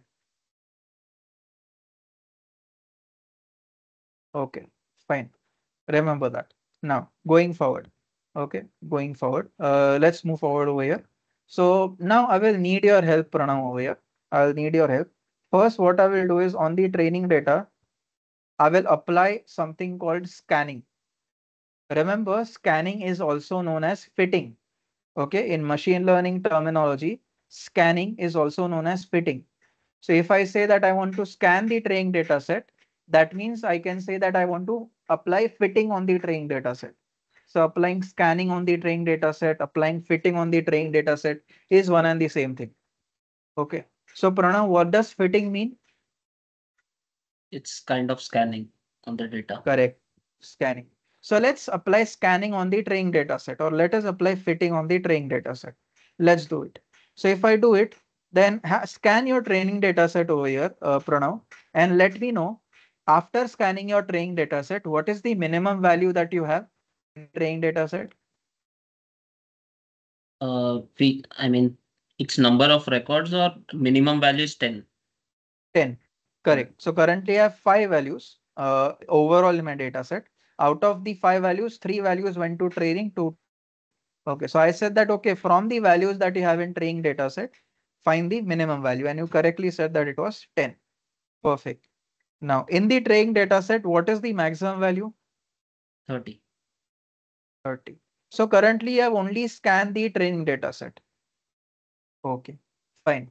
Now let's go ahead and uh, now what I will do is I will go ahead and on the training data set, let me do transformation. Transformation means actually applying the change. Fitting only means scanning. In fitting, no change is done. In transformation, we do a change in the value. So now let's change the values. So the value 10 will be changed to something. Uh, let me ask you, Pranav. 10 value, is it the minimum value in your head? Yes. Minimum value will always get converted to? Zero. Zero. As per min-max scaling, it will get converted to zero. 30, is it the maximum value in your head? Hmm. One. And as per min-max scaling, it will get converted to? One. One. Perfect. 20, is it the minimum or maximum in your head? No. So it will get converted using this formula. Okay, so it will be x minus x min. Minimum value is 10 divided by x max. Maximum value is 30 minus x min. Minimum value is 10. So this will be 10 divided by 20, which is equal to 0 0.5. Okay, so where I will just write 0 0.5. Okay, fine. Now let's go ahead. Up till now, Pranav, making sense? Yes. So on the training data set, the first thing that I had uh, applied was scanning, fitting. Correct. Second thing was transformation. Trans Okay. Now, Pranav, let me go ahead. On the testing data set also, let me try to do the same. Although you will see a issue that will occur because of that. And I will also show you the uh, solution to that issue. But just like on the training data set, I have done fitting and transformation both. On the testing data set also, let me do both. But because of that, we'll arrive at an issue and we'll see the solution to that issue. Fine. So on testing data set, let me apply fitting. That means scanning. So uh, Pranav, please scan the testing data set. What is the minimum value in your testing data set? 10. 10. Perfect. Let me write it over here. 10. And Pranav, what is the maximum value in your testing data set? 20. Perfect. Okay. Now let's go ahead. You have applied scanning on the testing data set. That means you have applied fitting on the testing data set. Now let's apply transformation. Transformation means actually changing the values. So on the testing data set, we'll change the values. So the value 10, it's the minimum value in your head, right? And as you know, as per minmax scaling, minimum value will get converted to zero. The value 20 is the maximum value in your head. And as per the rule of minmax scaling, maximum value will get converted to one. Now have a look over here. Can I say Pranav that in my training data set, the value 20 was converted to 0.5. In the testing data set, it was converted to one. Yes. This should not happen. Why are same, I mean, same value should be converted to the same number, na? See, Correct. whatever it is getting converted to in the testing data set, it should be done in the same way in the training data set as well. This mismatch should not happen. Okay, this mismatch should not happen. Okay, so for example, just as an example, Pranav, let's say in your uh, Aadhaar card, you have written a name of Pranav, whereas in your uh, PAN card, you have a, written a name of uh, Purohit. Will that work? No. No, na? Hmm. across data, uh, if let's say you are an entity, uh, you are a human being, you should have the same name across all the places. So similarly, over here we have the value 20. It should be converted in the same uh, number across all the data sets, whether it is training data set, testing data set, it should be converted in the same manner. Uh, Pranav, do you have a solution to this issue? What can we do to avoid this issue? Divide uh, ex divide 50 50 in train and test with all possible combination, all possible feature column value. Okay, but uh, it that could work if I have less number of rows. What if I have crores of rows? Yeah. Then that might not work. What I want to do is whatever conversion is happening in the training data set, same conversion should happen in the testing data set as well. Yeah, So then min what- max value uh should be same for train and test. Correct, correct, correct. And yes, that's the exact solution. And let's see how we do that. So what I'll do, uh, Pranav, is I will go back to a state where I was previously. Let me go back. Let me go back. Okay. So let's say you have only applied fitting and transformation on the training data set. Okay, Pranav, you have not done anything else. Let's say you have only applied fitting and transformation on the training data set. Now, Pranav, to avoid the issue that we had previously, we will make a promise. And that promise is that we will never ever apply fitting on the testing data set. On the testing data set, we will only apply transformation. So Pranav, what is that promise that we will make? We we will only apply transformation. We will not scan fit. Correct. We will not scan the testing data set, will not uh, fit on the testing data set. Fine. All right. So we'll not uh, scan the testing data set. And this is the result of scanning the training data set only. So I have not scanned the testing data set up till now. Fine. So we'll not scan it. Fine. Let, let us not scan. Okay. Uh, Pranav, you agree with me, right? That this is the result of scanning the training data set? Yes, yes. Fine. So let us not scan the testing data set now. On testing data set, we will directly apply transformation. We will not apply scanning ever.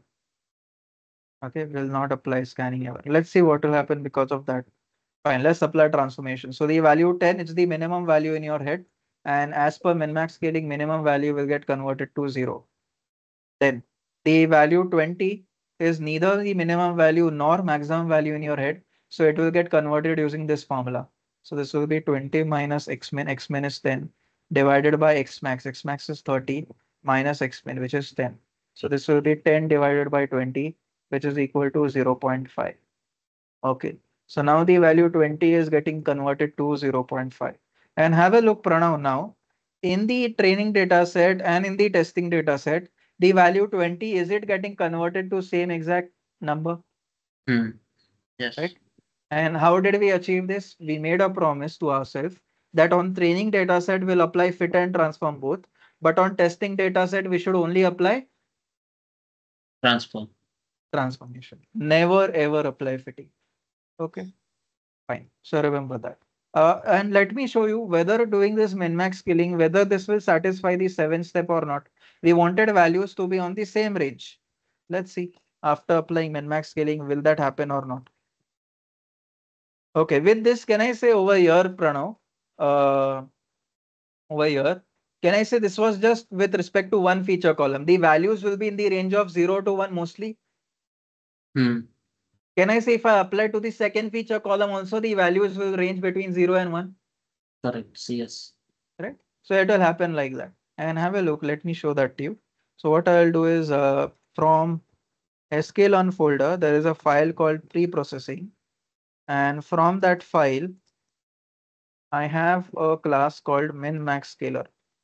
Let me go ahead and let me call that class.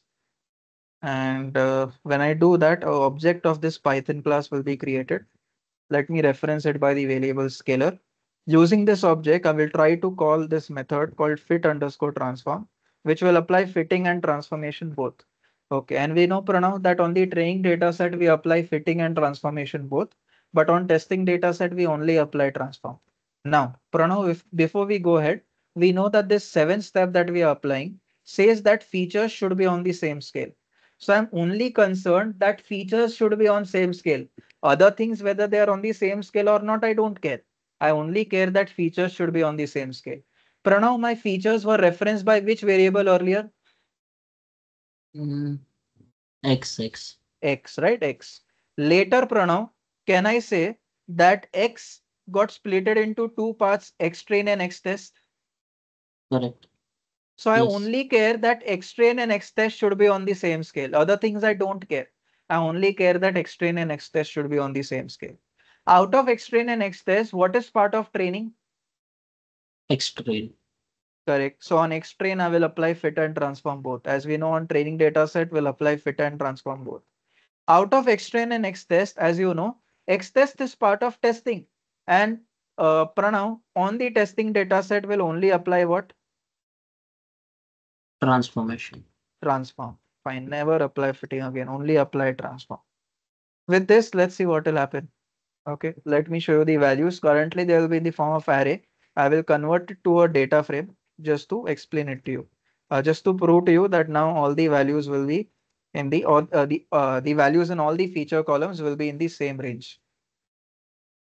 Me convert to a data frame. I'll get the column names also for you back. Okay, and have a look. You can cross check uh, the range and everything. You will see that uh, uh, the, all the values and feature columns will be on the same range. You can, uh, you know, check each and every detail over for each and every rows. Although some rows are truncated, but you can solve that issue as well. You can untruncate those rows and then check. And you will see all the uh, values of all the feature columns will be in the same range. With this, we'll solve the issue of scaling. So remember, scaling needs to be applied in two cases only. Okay, in two cases only. Or uh, I should say only in uh, uh, one case. Okay, uh, it should only be applied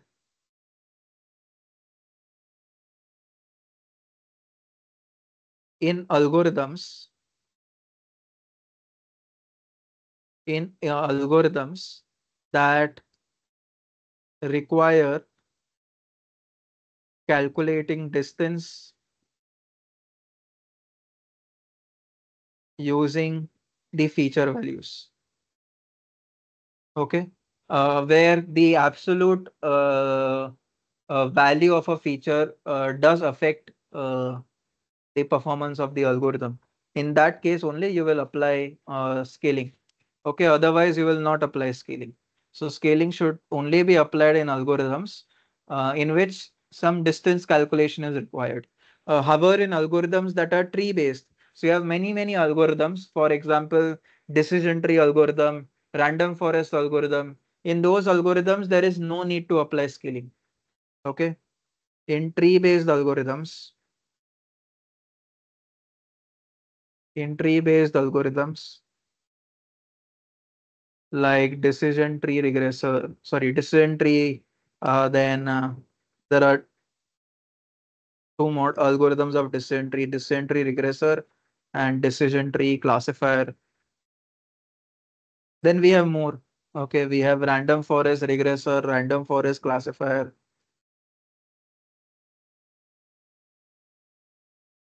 So like this, we have more and more tree-based algorithms.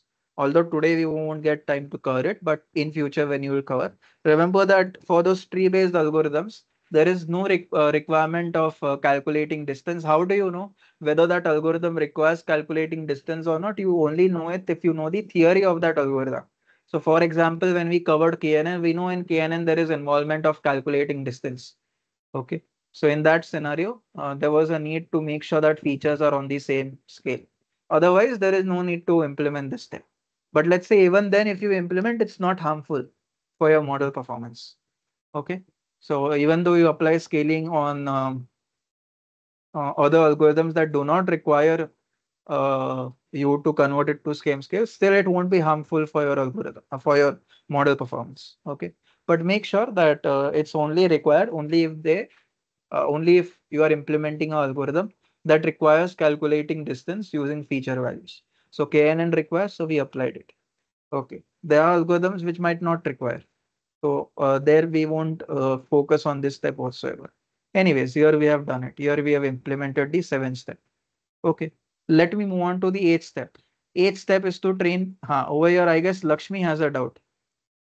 So yes, Lakshmi, I, have you put some doubt in the chat? Let me check. Huh. Now, Saravanan has a doubt about overfitting. Okay. So yes, Saravanan, I will explain overfitting to you as well. It's a theoretical concept. Uh, and I will explain how to see uh, how, how does it work and how you can check for it in code as well. Okay, I will explain it ahead. But for now, forget overfitting, underfitting uh, in, in these steps. Yes, going forward, I will explain that to you, uh, what it is. Lakshmi has a doubt. Lakshmi mentioned scaling should be applied in algorithms that require uh, calculating distance using feature values. Uh, it's it's not required, Lakshmi. In tree-based algorithms, it's not required. But let's say if you apply it, you are not doing any harm to your model performance. It will still be the same. The model performance will still be the same. Uh, in tree-based algorithms, if you apply or do not apply. So it's better to not apply, no? If it doesn't affect.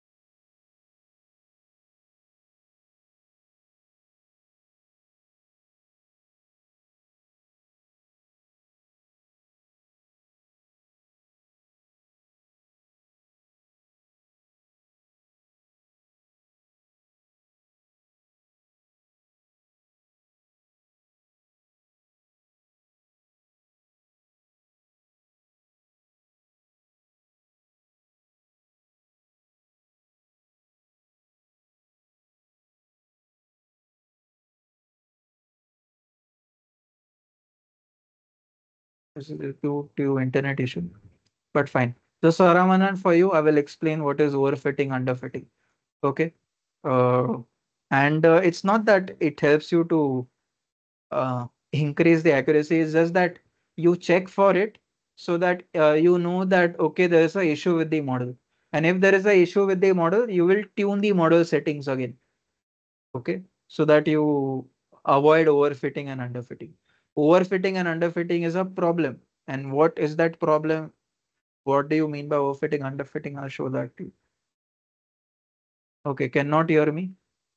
Acha, so uh, uh, was I audible when I said that uh, uh, yes, uh, scaling should not be applied on tree-based algorithms. It should only be applied on algorithms where calculation of distance is there uh, using the feature values. Only then it should be applied. In tree-based algorithms, it should not be applied. There is no need. But even if you apply in tree-based algorithms, you are not doing any harm to your model performance. Okay, it will still be the same regardless whether you apply it or not. So if you if you apply it, if there is no change whatsoever, so why to apply it na? in tree-based algorithms? So in tree-based algorithms, it doesn't matter the range of your feature values. It only matters in algorithms where calculation of distance is involved. Lakshmi, clear? I don't know whether I was audible or not. Is it clear? Guys, other guys. I don't know. I'm not able to get clear. Okay. Fine. All right, let's go ahead. And I'll come to your doubt, right? Uh, okay, I'll make sure that you that I explain you that issue at the end. Okay.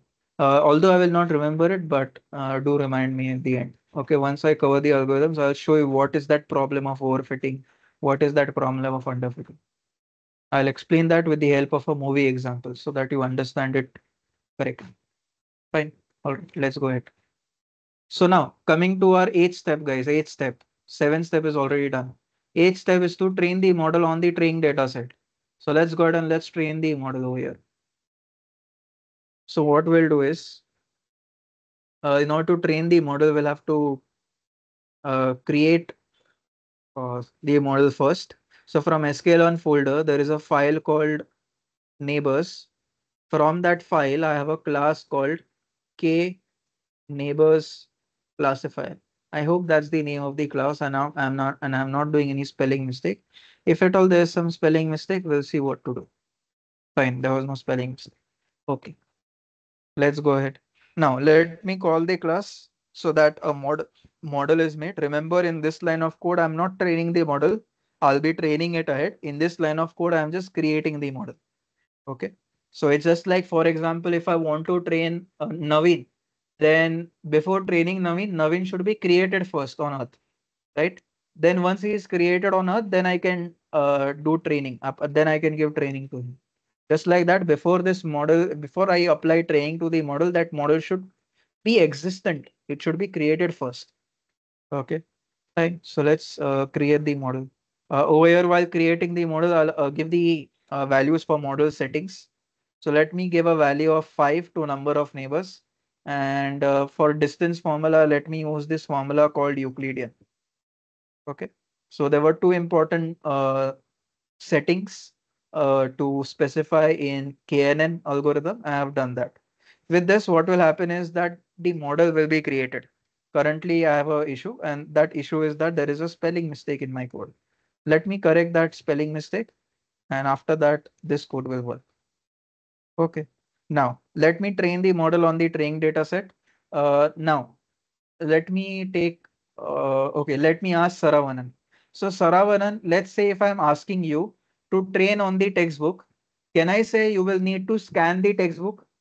Agreed? Yes? Okay.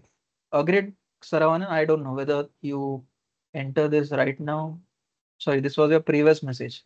So Saravanan, what I'm asking is, if I ask you to train on the textbook, can I say you will have to scan the content in the textbook? Yes or no, guys? What do you think? If I ask you to train on the textbook, you will have to scan the content in the textbook. Yes. What is another word for scanning in machine learning? Scanning is also known as. What is another word for scanning in machine learning? Fitting. Yes, as Saravanan mentioned, scanning is also known as fitting. As Pranav says, Scanning is also known as fitting. So let us apply fitting. On what? We need to train the model on the training data set. So we need to apply fitting on the training data set. And Pranav, out of the four things that you got out of train test split, which things belong to your training data set? Uh, x underscore train, then uh, y underscore train. Perfect. X train and Y train. You will pass these two things over here. X train and the second thing that you mentioned was Y train. Done with this training is done guys. Here since I had a very le very less frozen training data set, training didn't take a lot of time. Okay, as more and more rows increase in the training data set, the training time time might increase. Okay, fine. A step done, training is done. Now, last step, test the model on the testing data set. Fine. So let's test the model over here.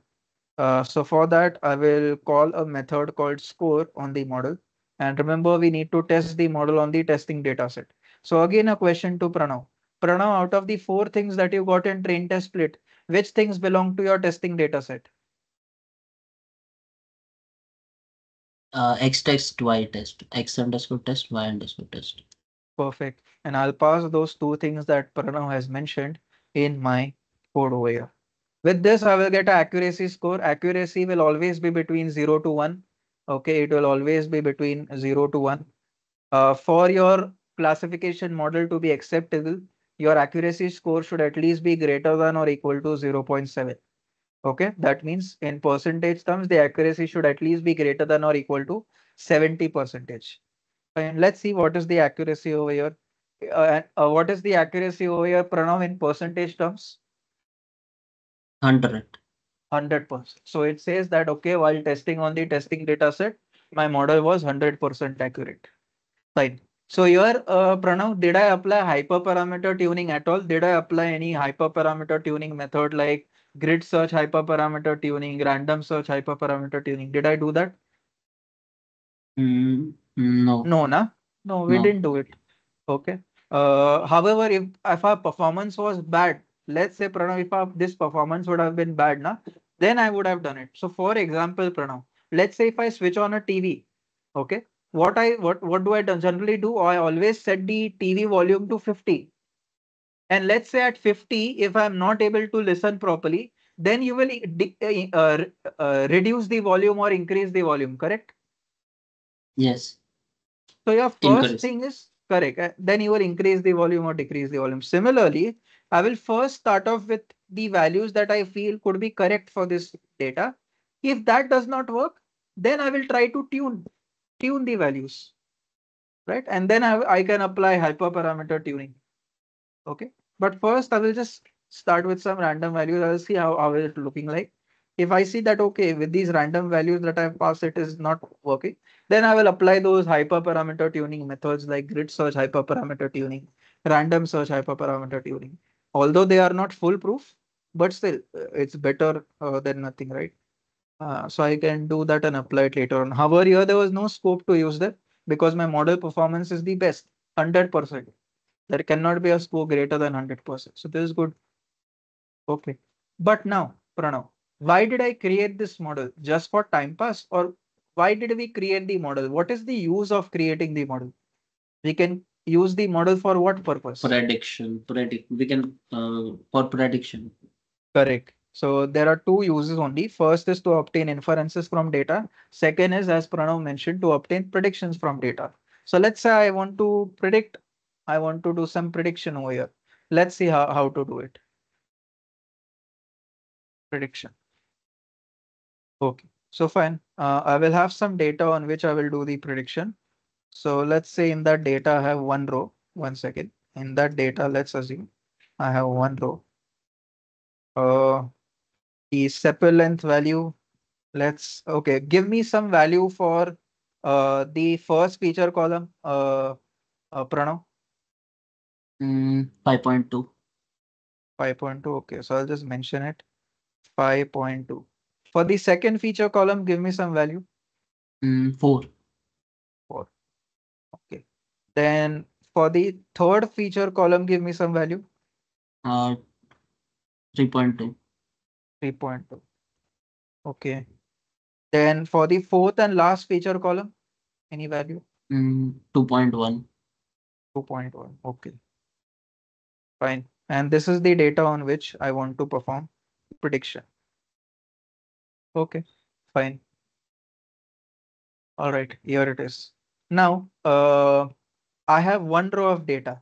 So that means Pranav, my model will predict how many target value?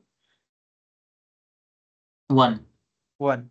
If there was two rows of data to predict on, it would have predicted two target values. If there were five rows of data to predict on, it would have predicted five target values and so on. Fine. But before doing prediction, there are two points that you need to satisfy. Before performing prediction, there are two points that you need to satisfy. First point is the number of the number and names of columns in the features and in the data to, to predict should match.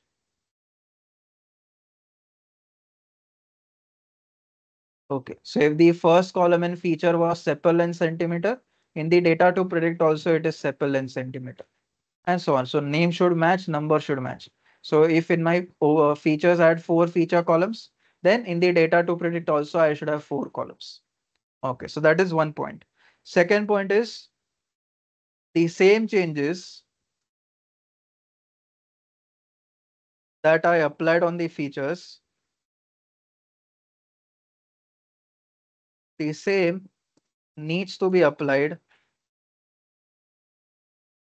on the data that I want to predict on. Okay, so uh, first point, I guess, is already satisfied. We have already taken care of this first point. Second point, let's see. The second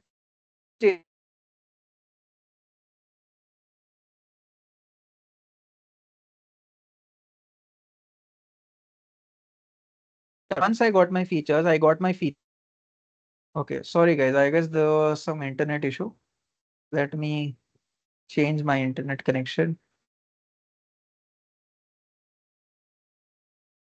Okay, I hope I am back. So coming back to our points that we needed to satisfy before doing prediction.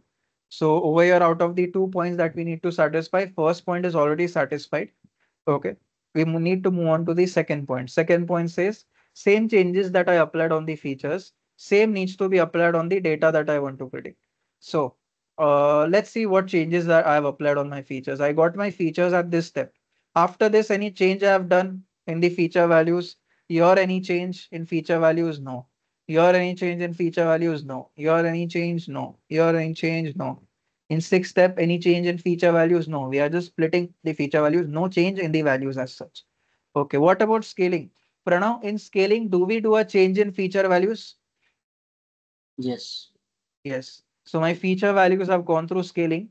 That's why the data that I want to predict on should also go through scaling. So here I will apply scaling on the data that I want to predict. Fine. After scaling, there's no other change that my features has gone through. So that's it. My features had only gone through one change, which is scaling. So in the data that I want to predict on, I will also apply scaling. Now my model is ready to make prediction. Remember uh, the target value is species and there are three species of iris flowers. Okay, either these species will be iris setosa or the species will be iris versicolor or the species will be iris virginica. These are the only three species of iris flowers and your model should predict one out of these three species. Okay, let's see whether it does that or not. Let me predict on this data over here and let's see whether it predicts the species of the flower. And over here it does predict the species of the flower. Remember there was just one row of data to predict on, so it predicted only one target value for that row. Let's say if there were two rows of data to predict on, it would have predicted two total target values. One for the first row, second for the second row, and so on. Let me show that to you. So let me have a second row as well. Let me have a second row as well over here. And for that, you will see that uh, we will get two target values. And as you can see, you get two target values over here. Okay, for two rows of data, you get uh, you have two target values predicted. Okay, fine. With this, Pranav and everybody else, is the implementation of KNN clear? Yes. Yes. Okay. So before the lunch break, we saw the theory of KNN. Now after the lunch break, we saw its practical implementation. Fine. So let's do one thing. Let's take a short break. Uh, after the break, we'll come back and we'll move on to our second algorithm for today. Okay, our first algorithm was KNN. Now after the break, we'll move on to our second algorithm. Okay, so based on this, guys, what we did oh, up till now, there are many questions that can come related to stratification, related to scaling, and all of that. Okay, fine. Anyways, uh, let's take a short break. Uh, we'll come back at 4 p.m. Uh, wherein we'll uh, and after 4 p.m. we'll move on to our second algorithm of today. Fine. So we have already worked with the first algorithm called KNN. Now after the break, we'll move on to our second algorithm. So let's take a 20 minute break. Okay. And we'll come back at 4 p.m. and uh, we'll move on to our second algorithm. Till then, I'll just be on mute. Okay. And after that, we'll come back.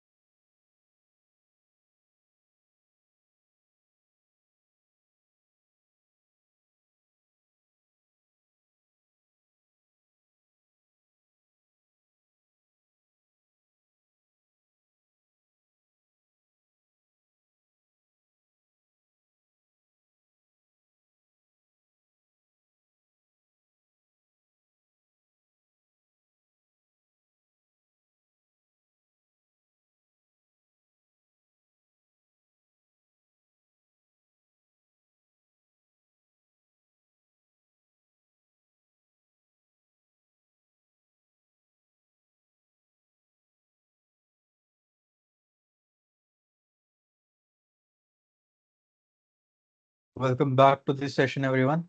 Hope all of you are back after the break. Just put a confirmation in the chat so that we can move forward. Everybody is back, guys. Saravana and Lakshmi. Yes. You can see Pragna has raised her hand, so she is back. Okay.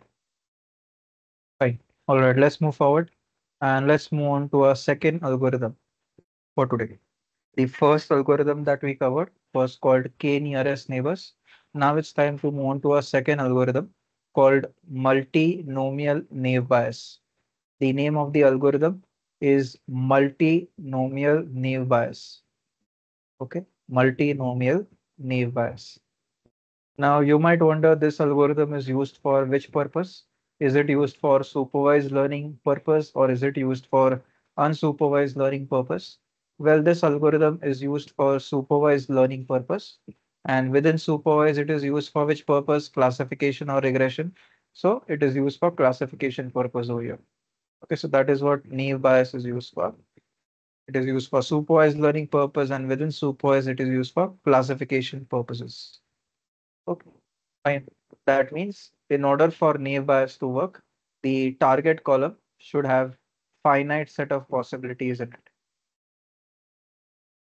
Okay let's move forward let's see the working of this algorithm. Now, in order to understand this, I will need help of one student. So let me take help of that student over here. I'll need help of Jaikesh. So Jaikesh, please help me out. Uh, I will unmute your mic and Jaikesh, I will need your help uh, in order to explain this to everyone. So let me allow you to speak over the mic. I guess I've given you one second. To Jaikesh, I guess I've given you the mic access. Now, Jaikesh, let's move forward. So, Jaikesh, let's suppose I have a data set containing emails. And in those emails, I have a total of 12 emails with me. Out of 12 emails, out of 12 emails, let's suppose eight emails are normal emails and four of them are spam emails. Okay. So Jaikesh, over here, uh, the question that I'm asking is in such a scenario wherein the either uh, the email is either a normal email or a spam email. Let's say you want to predict it. Now, just a question over here, Jaikesh. Can I say your uh, email uh, uh, portals like Gmail or Outlook? Can I say they already have a machine learning model inbuilt into them that predicts Correct. whether your incoming email is a normal email or a spam one, correct? Correct, correct. Yes. Okay. So let's say we want to build a similar model like that. How will we build it? Let's see.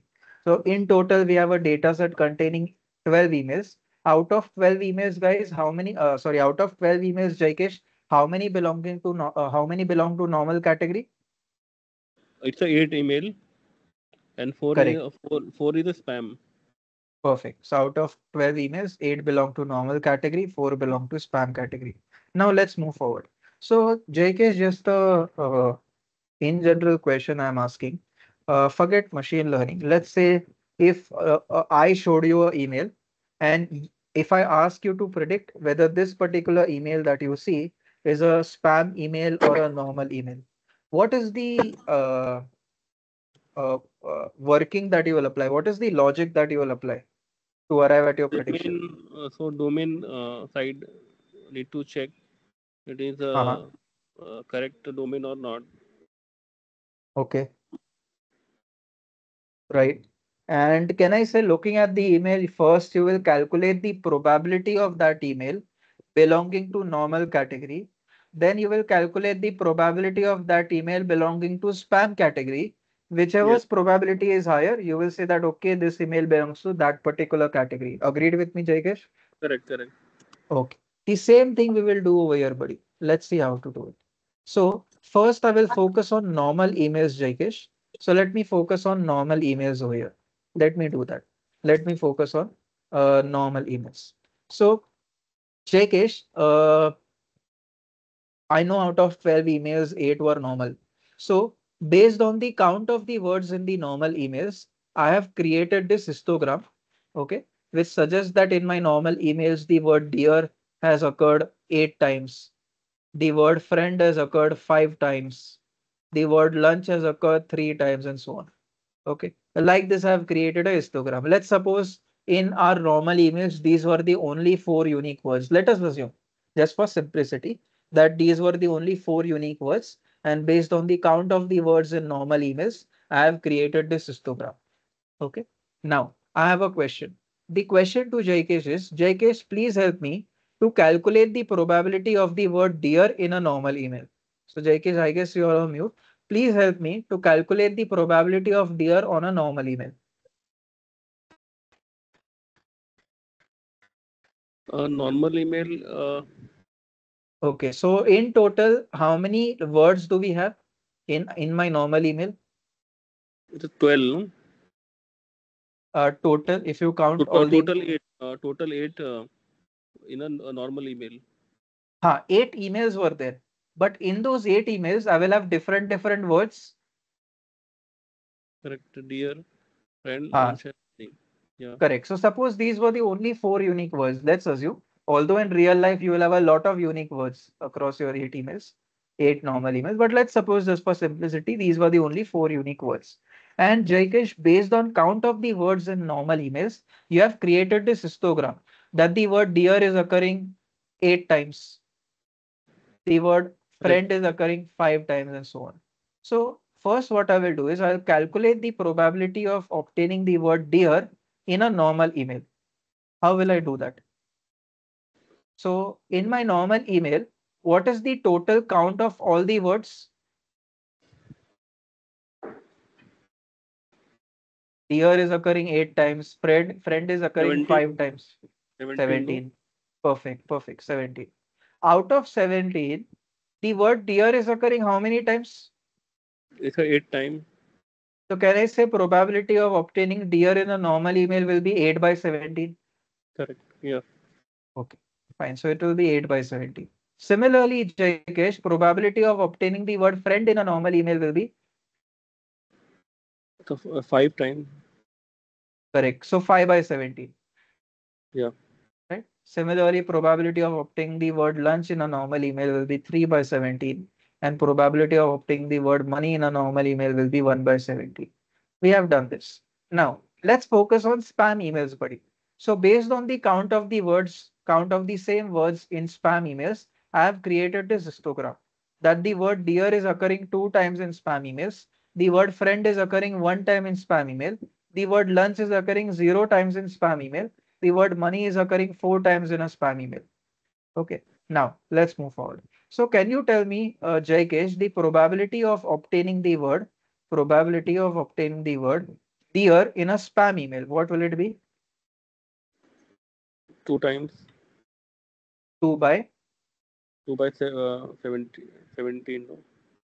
uh, no, no. In my spam email, you see the word dear is occurring two times, friend is occurring one time, lunch is occurring zero times, money is occurring four times. So in spam email, total count of words can I say is 2 plus 1 plus 0 plus 4.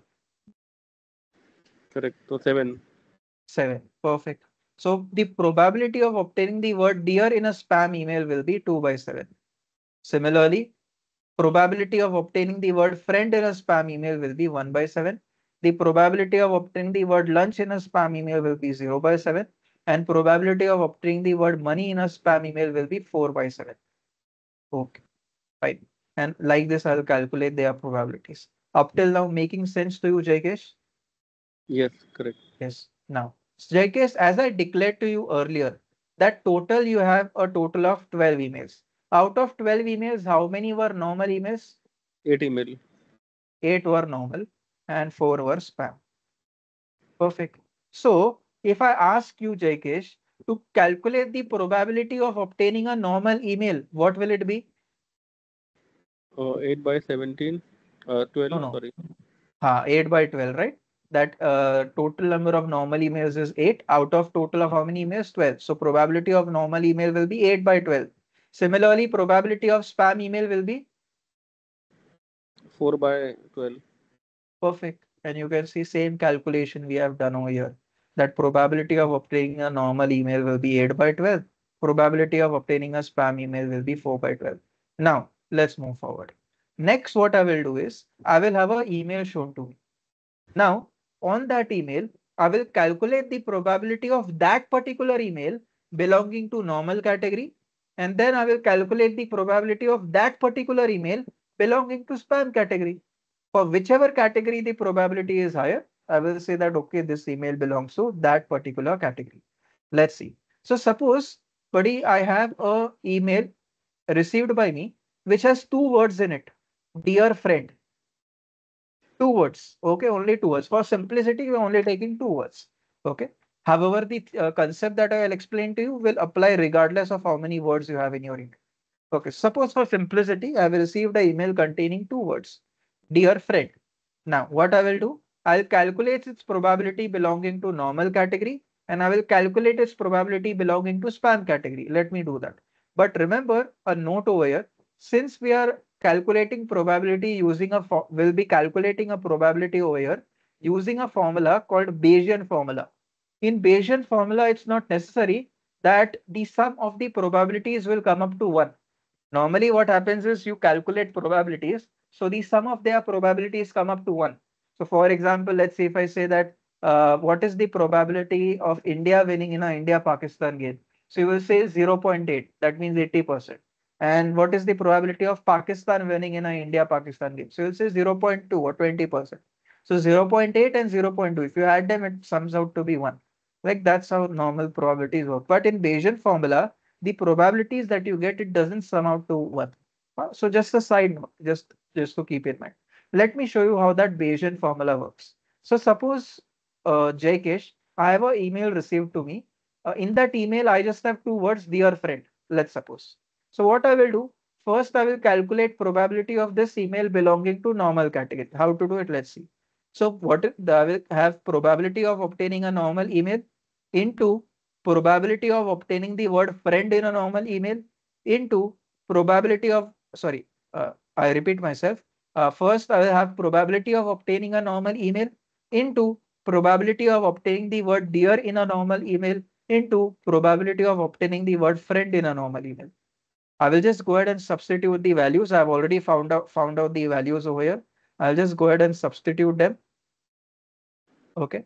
And that's how I get probability of this particular email belonging to normal category. Okay. Similarly, let's go ahead. Similarly, I will calculate the probability of this email belonging to spam category. So uh, I will have probability of obtaining a spam email into probability of obtaining the word dear in a spam email into probability of obtaining the word friend in a spam email. I'll just substitute their values and I at the end I will get to know the total probability of obtaining a spam email over here. So now Jaikesh, you let me know which probability is higher, the probability of obtaining the email in a normal category or probability of obtaining the email in a spam category, which is higher?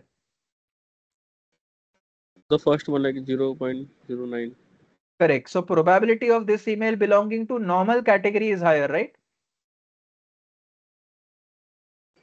This was the calculation done for a normal email. Below was the calculation done for a spam email. And you know the probability that you obtained for a normal email, the probability of this email belonging to normal category is higher as compared to probability of this email belonging to spam category. The probability of this email belonging to normal category is higher. So what will the model's prediction be? The model's prediction will be that, okay, since the probability of this email belonging to normal category is higher, that's why this email belongs to normal email category. Okay. So is it understood, Jaikesh, how your uh, multinomial naive Bayes algorithm works? Yes, yes. Yes. Okay. Fine. So this algorithm was de developed way back. Okay. Uh, this Bayesian uh, formula, I should say, was developed way back uh, somewhere around 1970s or 1980s. Okay. So this is how it works basically. Fine. Let me go ahead and let me implement this. We have seen the theory of this algorithm called multinomial naive Bayes. Now let's go ahead and let's see its implementation. Okay. So it's time to see its implementation. Let's see. So, uh, Jaikesh, just one last question. Uh, this multinomial naive Bayes algorithm is used for which category of models, supervised or unsupervised? Uh, not sure. Sorry. Uh, see, uh, if a algorithm requires the usage of features and target both, then it's a supervised learning algorithm. Correct. Yeah. If the algorithm only requires usage of features, it does not require target, then it's unsupervised. It's unsupervised, right? How? See, I had emails. In the emails, I knew they are labels, na? Whether they are normal or spam. So I knew their target values already. Yes, correct. Yeah. Okay. Right. So this will be supervised. So any algorithm that is used for supervised learning category, any algorithm that is used for supervised learning category to implement it, we have these nine steps. Let's see. Okay. So uh, let me first uh, get the data on which I'll be applying this algorithm over here. So I have data of some tweets and what I will do is I will train my uh, model over here based on those tweets. Uh, so in the data that I have with me, some of the tweets have been written by Donald Trump. Some of the tweets have been written by Justin Trudeau. Okay. And I want to predict, I want to let my model predict seeing a tweet, whether that tweet was written by Donald Trump or whether that tweet was written by Justin Trudeau. Okay. I want my uh, model to tell me that. I want the model to train itself and later help me to predict whether a tweet is written by Donald Trump or whether a tweet is written by Justin Trudeau. So over here, I have many columns with me. The last column contains the actual tweets. The second last column contains information about author of the tweets. All the other columns are useless for me, so it doesn't matter. Okay, fine. Uh, now let's go ahead. The first step in order to see the implementation is to make sure that data is clean. So there are many things that we see in cleaning. One thing that we see is that it should not have any missing values. Let's go ahead and check if there are missing values or not. And on checking, on checking over here, we observe that there are no missing values whatsoever. The first column has zero missing values, second column has zero missing values, all the other columns have zero missing values. So that's good. Second step is to extract the features and targets separately. So let's go ahead and let us extract the features and targets separately here. Okay, so we'll go ahead and do it. Let's extract the features and targets separately. Remember uh, that here my target column is what? My target is to predict the author of the tweet, right? My target is to predict author of the tweet. So this author column will be my target column. This author column will be my target column. Fine. This will be my target column. Then what will be my feature column? So the column that contains the tweets, that will be my feature column. So the tweet will help me to predict who, who is the author. Okay, so this tweet column, this last column over here will be my feature column. Fine. So it will be my feature column over here. All right, now let's go ahead. Now, uh, what I will do is uh, I want to go ahead and uh, uh, move on to my next step. My next step is what? My next step is to make sure that features should be of numeric nature. So let's go ahead and check if they are of numeric nature or not. Okay. Uh, here, if you have a look at your feature column, you can see your feature column that you have with uh, you over here. This is your feature column. You can have a look at your feature column and you tell me, is my feature column numeric or non-numeric? Which type of column is it? You can say it is non-numeric, right? Your feature column that you have with you, it is non-numeric. Agreed? This is non-numeric, right? I have one feature column only. Okay, there is my feature column. Whereas the other column is my target column. The remaining columns are useless for me. If you have a look at my feature column, you can see it is a non-numeric feature column. So in order to convert it into numeric, I will have to apply some steps. Okay, let's see how to do it. How to convert a non-numeric feature column into a numeric feature column. Okay, so if you have a non-numeric feature column, first you need to check whether that non-numeric feature column is having finite set of possibilities or in other words, is it discrete in nature? Okay, discrete in nature means a column having finite set of possibilities. So you need to check whether that non-numeric feature column is discrete in nature or it is continuous in nature. If it is discrete in nature, okay, if it is discrete in nature, then you have two main techniques that you can choose from. There are others also, but there are two main techniques. First is called one-hot encoding. Second is called dummy encoding. So an example of non-numeric uh, feature column that is discrete in nature could be something like gender. So gender, uh, if you have a gender as a feature column, gender is non-numeric feature column and gender has finite set of possibilities or infinite set of possibilities. Well, gender has finite set of possibilities, right? Two possibilities in gender, either male or female. Okay. So that gender is an example of non-numeric discrete feature column. And in order to convert such a column to numeric, you will either apply one-hot encoding and dummy encoding. There are other techniques, but the main, one, main ones are one-hot encoding and dummy encoding. Okay.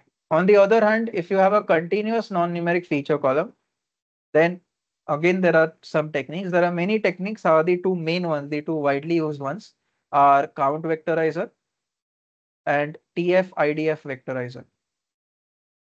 Count vectorizer and TF IDF vectorizer. Okay, fine. So I will need your help, uh, Jaikesh. So Jaikesh, please let me know whether the feature column that we are working with, this is my feature column over here. Okay, this is my feature column. Have a look at my feature column. It is non-numeric, yes, but uh, that non-numeric feature column, is it discrete in nature or continuous in nature? Uh, discrete in nature because different. Discrete means a, a column having finite set of possibilities. Continuous means a column having infinite set of possibilities. So as far as my feature column is concerned, there I am storing my tweets. Uh, do I have finite set of possibilities in tweets or infinite set of possibilities?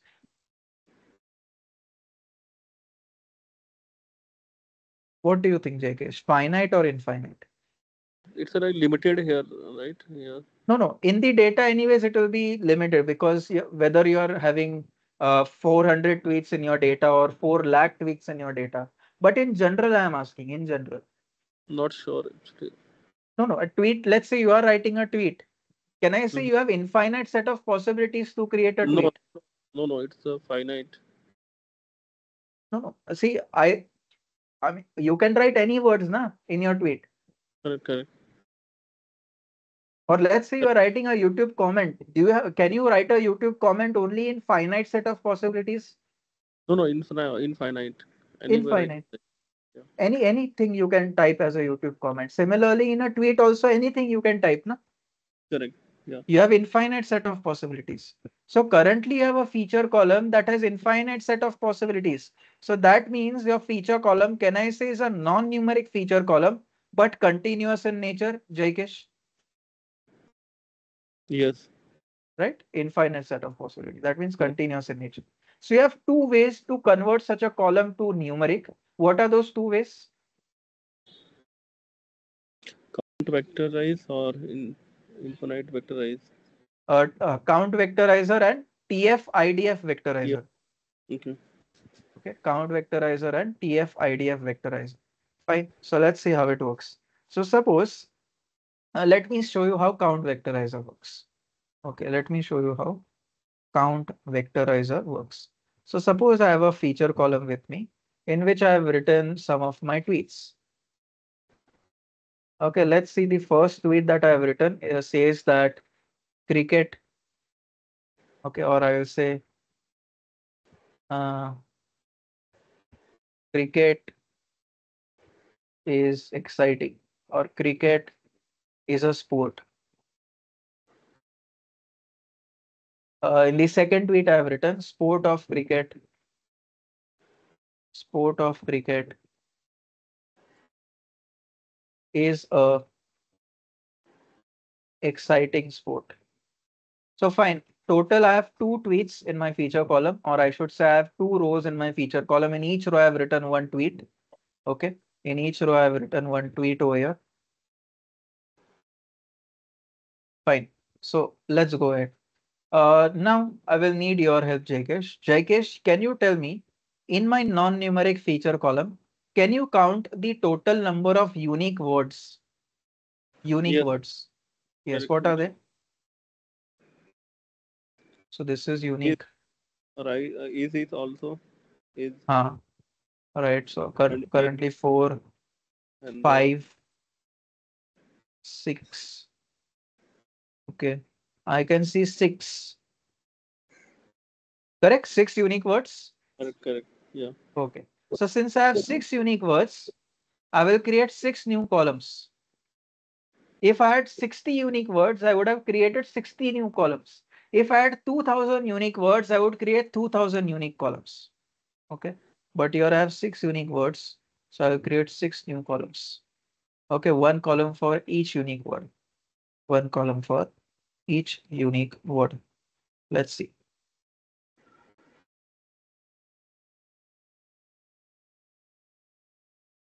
Okay. Fine. Now let's go ahead. Okay. Now, uh, in the first row, the word cricket is written how many times? two times. In the first row, Uh, one time. one time. Perfect. In the first row, the word is is written one time. One time. In the first row, uh, the word uh, A is written one time. In the first row, the word sport is written one time. But in the first row, the word off is written how many times? Two times. No, no. In the first row, the word off, off is written how many times? The off is not written. Correct. So zero times, Correct. zero. Then in the first row, this is the first row. In the first row, the word exciting is written how many times? Zero. Zero. Now, going forward. In the go, let's go to the second row. In the second row, the word cricket is written one time. In the second row, the word is is written one time. In the second row, the word uh, A is written one time. In the second row, the word sport is written how many times? Two times. Two times. In the second row, the word uh, off is written one time. In the second row, the word exciting is written one time. Okay. And with this, have I converted my non-numeric values to numeric values now? Have I done that, Jaikesh? Yes. In the process, I ended up with more columns than what I had before, but that's fine. I have converted my non-numeric values to numeric values. Okay, Okay. fine. Let's go ahead. Now, third step was to make sure that features are of numeric nature. So let's do that. Let's make sure that features are of numeric nature over here. So, uh, for that, what I will do is I will need help of a class which I will import. So from feature, uh, so, so sorry, from sklearn folder, there is another subfolder called feature extraction. From that subfolder, I have a file called text. Inside that file, I have a class called count vectorizer. Now I'll go ahead and call that class. And uh, uh, over here, when I call the class, with that, what will happen is count vectorizer process will be ready to do work. So let me ask it to do work. Okay, I will say that, okay, uh, scan the entire uh, feature column, okay, which is referenced by a variable X and also apply the changes that you want to do in the values. Fine. So let's say if there are 2500 unique words in that feature column, then 2500 uh, new columns will be created. Okay, and have a look. Let's see what happens over here. And you can see there, were, there were around 2500 unique words in the feature column. So 2500 uh, columns have been created over here. Okay, fine. Now let's go ahead. Uh, fourth step will be that it should be of the type array or data frame. It is. Fifth step is that it should have some rows and columns. We have already checked. It has some rows and columns. So let's directly move to step six. Step six is to make sure that we split the data set into two parts, training and testing. Okay, so let's do that. So from sklearn folder, there is a file called uh, model selection. From that file, I have a function called train test split. Okay, so I will import that function and uh, let me correct my spelling mistake so that the code works. Now, after importing the function, I will call it. The first thing that I'll pass is my features referenced by a variable X. The next thing that I'll pass is my target referenced by variable Y. Then I'll use the test size parameter and to that I'll pass a value of 0.2. That means 20% of the data will go for testing, the remaining 80% will go for training. Then uh, I will use the random state parameter just to make sure that uh, every time when I run the code, I get the same set of rows in training and testing. Okay, so let me pass any random state uh, seed value over here. Okay, remember that the seed value that you are passing today, you need to pass the same seed value later on as well. So that today and later on you get same set of rows in training and testing. Then there was one other thing we did in train test split. Anybody remembers that? There was one other thing that we did in train test split. Anybody remembers that guys? What is that other thing that we did in train test split? Any other thing we did? Stratification, right? As Shweta and Pranav are saying, stratification. So let me apply stratification. We know that stratification is applied on my target column. My target column is referenced by variable y. So let me apply it on my target column, reference by variable y. Will this with this train test split function will do the work. First, it will split my features referenced by variable x into two parts. So I'll get x train and x test. Then I will uh, have my target reference by variable y split it into two parts. So I'll get y train and y test. With this, my sixth step will be done. Moving on to step number seven, which is to make sure features are on the same scale.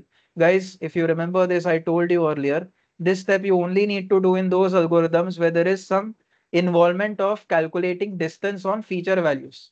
Here, guys, in this algorithm called multinomial naive Bayes, in the working, did you ever see any distance being calculated using feature values? Did you ever see any distance being calculated? In multinomial naive Bayes, guys, did you ever see in the working distance calculated using feature values? Did you ever see it? No, right? As Pranav mentioned, no.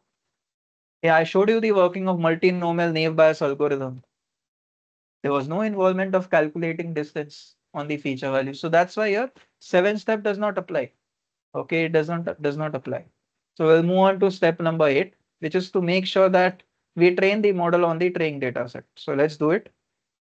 Let's train the model on the training data set.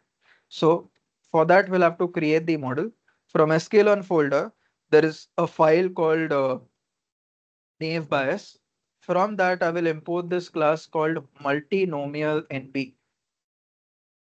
Okay, let me call the class so that a model will be created. Remember with this line of code, it will not be trained, but it will be created.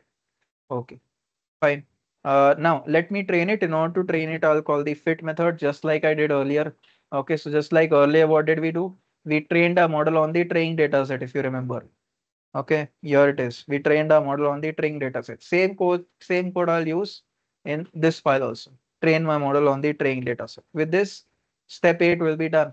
Then step 9, which is to test the model on the testing data set. So in my previous coding file, what did I do? I used the score method on the testing data set. Right now also I'll do the same thing. Remember, I'll get accuracy value between 0 and 1.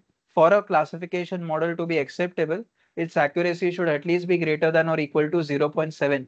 That means accuracy in percentage terms should at least be greater than or equal to 70%. Okay.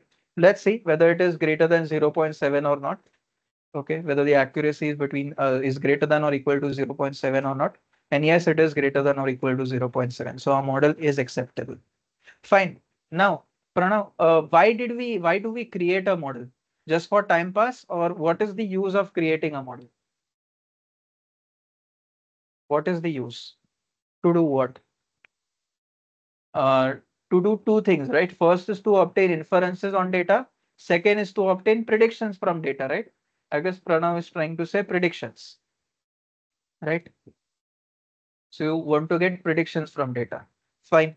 Let's predict. So suppose if I have a tweet saying uh, CNN is fake news.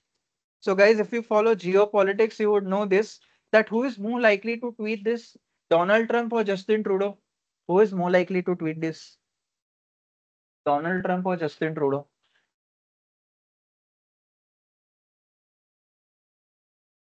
Who is more likely to tweet? Okay, if you don't follow geopolitics, no issues. Uh, there's a common tweet that Trump has made. He used to talk a lot about uh, CNN back in his days. Okay, so such a tweet is more likely to be tweeted by Donald Trump. Let's see if my model also thinks the same. Okay, but before we go ahead and do any predictions, there are two important points to note. There are two important points. Okay, first is that the same changes that I've applied on the features, the same needs to be applied on the data that I want to predict on. So let's say this is the data that I want to predict on. Okay, this is the data that I want to predict on. Fine. So same changes uh, that I applied on the features, same I will apply on the data that I want to predict on. So let's say in the data that I want to predict, it's a tweet.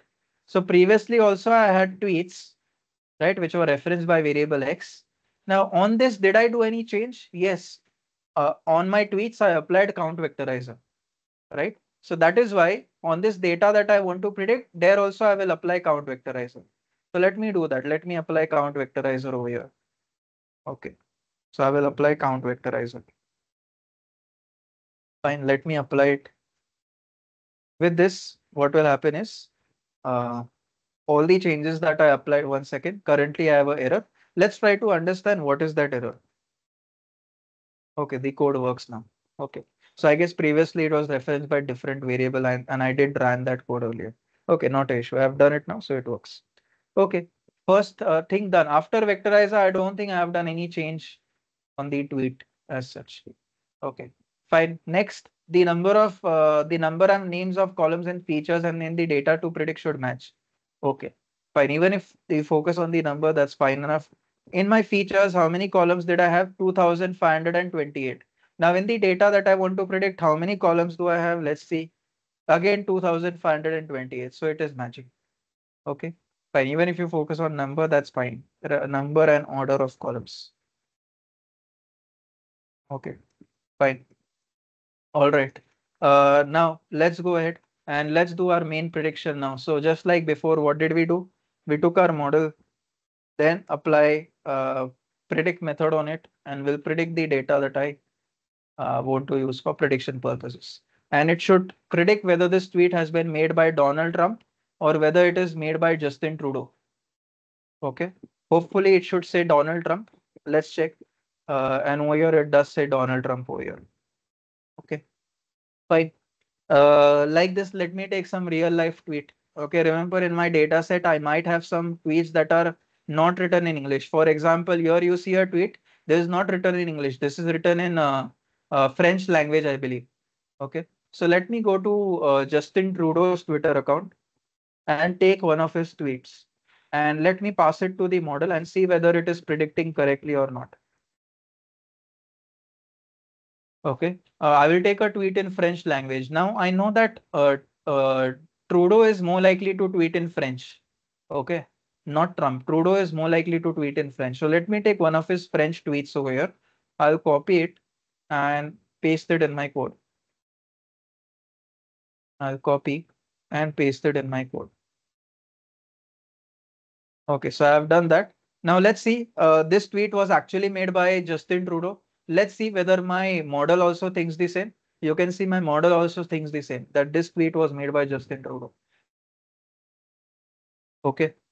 But remember that, uh, yes, up till now our model is performing well, but uh, our model is trained on very, very less number of examples. Okay. In total, if I remember, I had 400 rows or 400 examples, out of which 20% of the rows I passed to testing. So that means out of 400, if I pass 20% to testing, that means 80 rows I have passed to testing. The remaining 320 rows I kept for training. So it is only trained on 320 tweets, 320 examples or 320 rows. Okay, which is very less. In real world, you try to train it on lakhs and lakhs of rows. Okay, fine. So up till now it is working well, but uh, in your office, when you will implement this, make sure that you have uh, train it on as many examples as possible. Okay, so understood the implementation of a second algorithm also, guys? Yes? Yes or no? Made sense, guys? If there is any doubt, let me know. Understanding Manoj, Pranav, Shweta, everybody else? Any doubt? Understood? Yes. Okay. Pragna. Okay. Fine. Now, Pragna, I have a question for you. Uh, so Pragna, you let me know now, just the exam, uh, just a general question I'm asking. Can I say it is very important to keep only good feature columns and bad uh, columns that are not worthy of becoming feature columns we need to remove, correct? It is important to keep only good feature columns. Okay, columns that are not worthy to become a feature, I should not have them in my feature column list. Okay, so what I'm trying to suggest with that is, see over here, when I applied count vectorizer on my tweets, there could be words like is, a, the, these are very common words. So for these common words also, a new column must have been created by count vectorizer. And for these common words now over here, they are treated as feature column now. As I said, for these common words, a new feature column will be created, right, in count vectorizer. Do you think these common words help at all while uh, uh, doing the prediction? Common words like is, a, the, do they suggest whether it is being treated by Donald Trump or Justin Trudeau? Do these common words help to predict whether it is treated by Donald Trump or Justin Trudeau? Ha. So Pragna, can I say I should remove these common words? It won't help, na? So why to create a new column for it unnecessarily? Okay. So what I can do is to count vectorize, I can say that if there are any common words in English language, don't create a column for it. Okay, your common words are also known as stop words. So if at all you encounter those common words or stop words in English language, don't create a column for it. So there will be multiple common words in English language like is, the, a, and so on. Okay, so for those, it will not create a new column. And you will see previously we had 2500 columns being made. Now you will see less number of columns. Okay, let me run the code from start. Previously you had 2500 columns being made. Now have a look program. Has the total number of columns reduced from 2500? You can see it has reduced. So for those unnecessary words, we didn't create a new column. For those common words, we didn't create a new column. Now, let's see whether that affects our performance of the model or not. Let's see. So previously, the uh, performance of the model was what? Around 92% accuracy, right? 92.5% accuracy. Let's see if the performance increases. Okay, previously the performance was 0.925. That means 92.5% accuracy. Let's see now if it increases. Does it increase Pragya? Yes, you can see it increases. So removing bad feature columns also increases your performance of the model. Okay, so remember that. Fine. Anyways, uh, all right. So with this, we have completed implementation of our uh, second algorithm called multinomial naive Bayes. Now I will just take uh, the doubt that Saravanan had. So I guess Saravanan, it was you, right, uh, who wanted to know about overfitting and underfitting problem in a machine learning model. I guess it was you. If it was somebody else, let me know. Is that student there who asked it to me? I don't remember. Is that student present still? Or not? It was because that student had asked it. If you are mentioning something, I have not received it yet in the chat. Who was the student? Is uh, Saravanan, right? Saravanan is there. Okay, fine. So let me explain to you, Saravanan, the problem of overfitting and underfitting.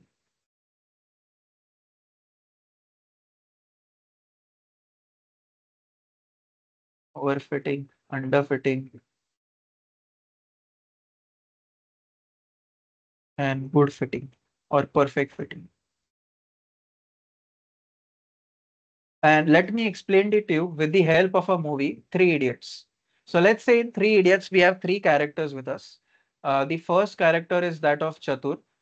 The second character is that of uh, Rancho. And the third character is that of Farhan.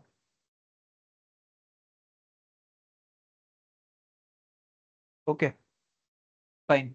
Uh, uh, or in fact, let me mention uh, those three characters over here. Chatur, Rancho, Farhan. Okay. And now what I will do is generally what we do, buddy, is uh, Saravanan, remember this, that uh, we calculate something called testing score. That means score of data on the testing data set. And in order to explain to you about overfitting and underfitting, what we do is we, in order to check whether a model is overfitting or underfitting, we also calculate score on training data set. So if you want to calculate score on training data set, you also do that.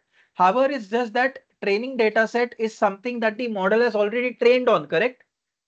So it's like, let's say you trained on a textbook and in the exam, you get a question inside the textbook.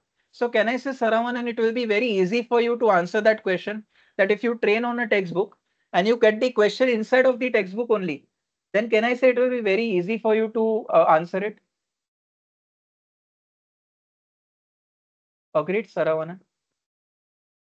That you trained on a textbook and uh, you are asked a question inside the textbook, and it will be very easy for you to answer. And you will see generally what happens is the score on training data set is higher. Okay, as you can see, score on training data set is higher. So this is like asking a question from it, uh, asking a question from what it has already trained. And obviously it has already trained on this data. Okay, so if you ask it a question that it has already trained on, it will answer well, it will perform well on it. Okay, but testing data, it, it, it has never seen.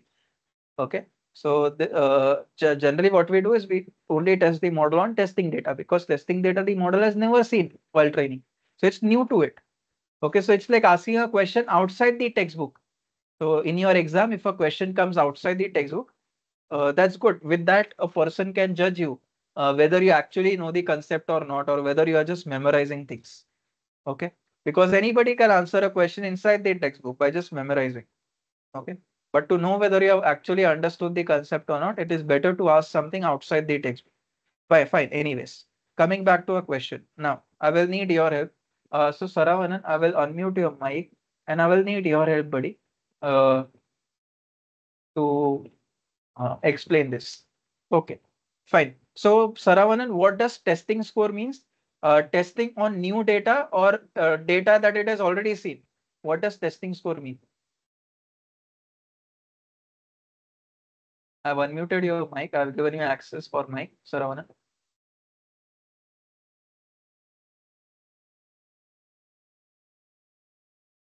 Okay. Mic is not working.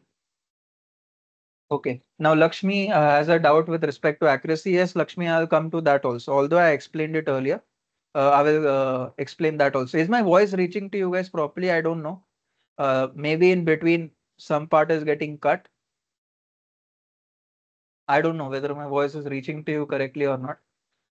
Okay, that uh, okay, but fine, Lakshmi. If at all my voice didn't reach you due to some internet issue, remember I will explain that to you again. Previously, also I explained how that accuracy increased. Once I am done with Saravanan's doubt, I will come back to your doubt. Okay, fine. Anyways.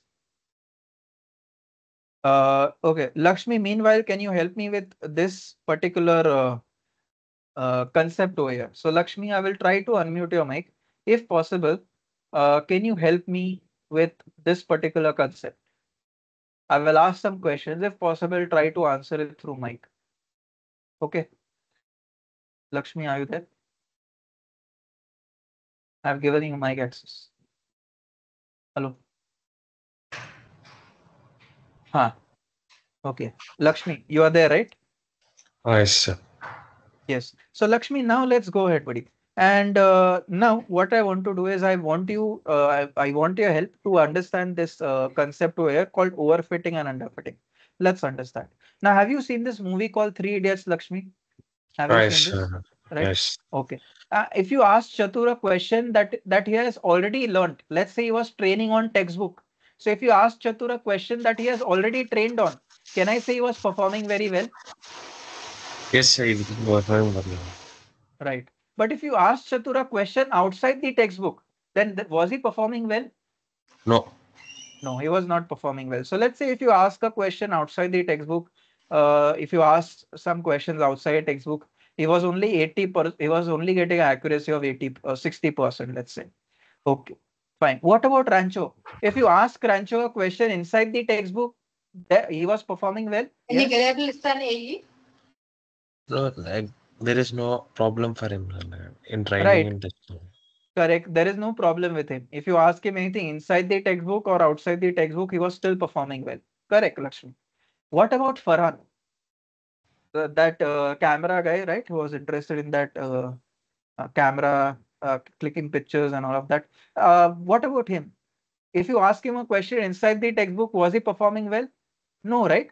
No. If you remember his scores in in that movie, he was not performing no. well, No. right? Similarly, if you ask him a question outside the textbook, then also he was not performing well. Not well. Okay. So this scenario, guys, where your training score is high, but your testing score is low, is called overfitting. Overfitting suggests that the model is trying to memorize the answers and it has not fully understood the patterns in the data. Okay. So overfitting means training score is high, but testing score is low. Whereas underfitting means both training score and testing score are low. So Lakshmi, what does overfitting mean? Like overfitting means like we are providing excess amount of data to the model. Like it, gets confused. No, no. Uh, the problem is not with data. The problem is the model was memorizing the answers.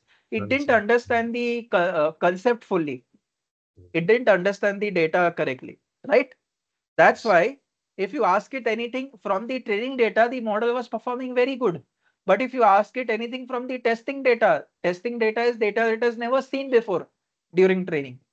If you ask it anything in, from the testing data, it was not performing well. So this is called overfitting. Overfitting means training score is high, but testing score is low. Underfitting means what? Both training score and testing score, both are low. Okay. Whereas, what do you want generally? Uh, if you are a CEO of a company, Lakshmi, would you hire Chatur, Rancho, or Farhan?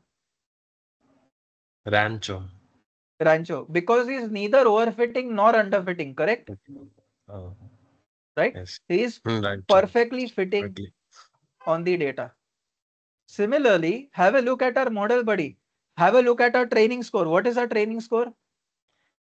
99.678. Correct, which is good. Right? What is our Hmm. testing score? Our testing score is also good. Good. 0.9375. So here is any overfitting or underfitting happening at all? No. No. Okay. Fine. So uh, Saravanan, uh, fine. Thanks for help, Lakshmi. Saravanan, what does overfitting mean? Saravanan, to you, the question is, what is overfitting? What is overfitting, Saravanan? We just looked into it. So, or can I say, Saravanan, overfitting means training score is high, but testing score is low. Correct? Training score is high, but testing score is low.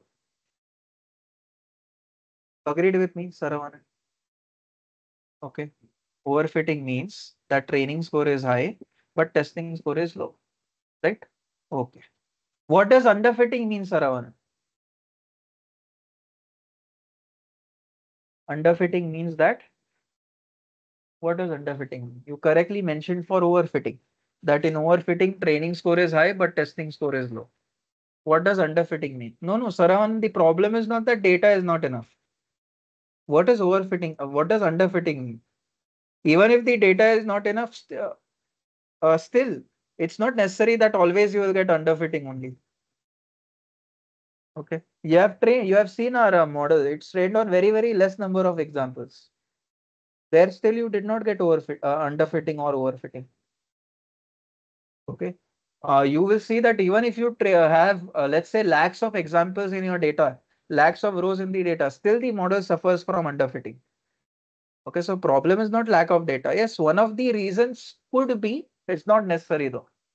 Okay, but anyways, keeping those reasons aside, if you want to understand what it, what it is first, what is underfitting? Overfitting means training data is high, testing data, sorry, uh, overfitting means training score is high, testing score is low. Underfitting means both training score and testing score, both are low. Saravanan says in that case, we'll have to tune the model. Well, Saravanan, even in overfitting, we'll have to tune the model. Tuning the model means changing the model settings. So even in overfitting, you will have to tune. Even in underfitting, you will have to tune. Okay. But what is overfitting? Overfitting means training score is high, testing score is low. Underfitting means both the score are low. Okay, fine. However, it's very easy, or I should say comparatively, it's easy to improve a overfitting model. If at all a model is overfitting, it's easy to improve it.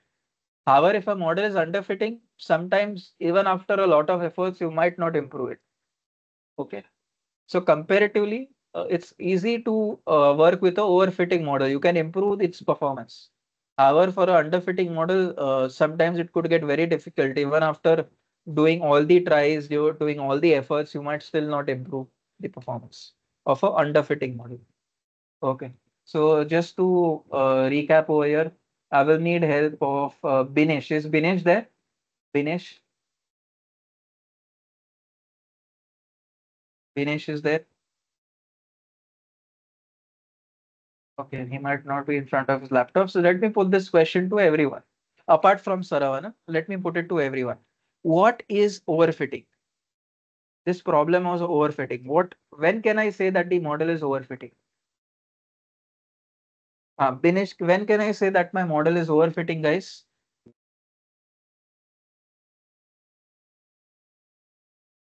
When? When what happens? When can I say that my model is overfitting? Ah, so Binesh says when the training score is high, but the testing score is low. Perfect, Binesh.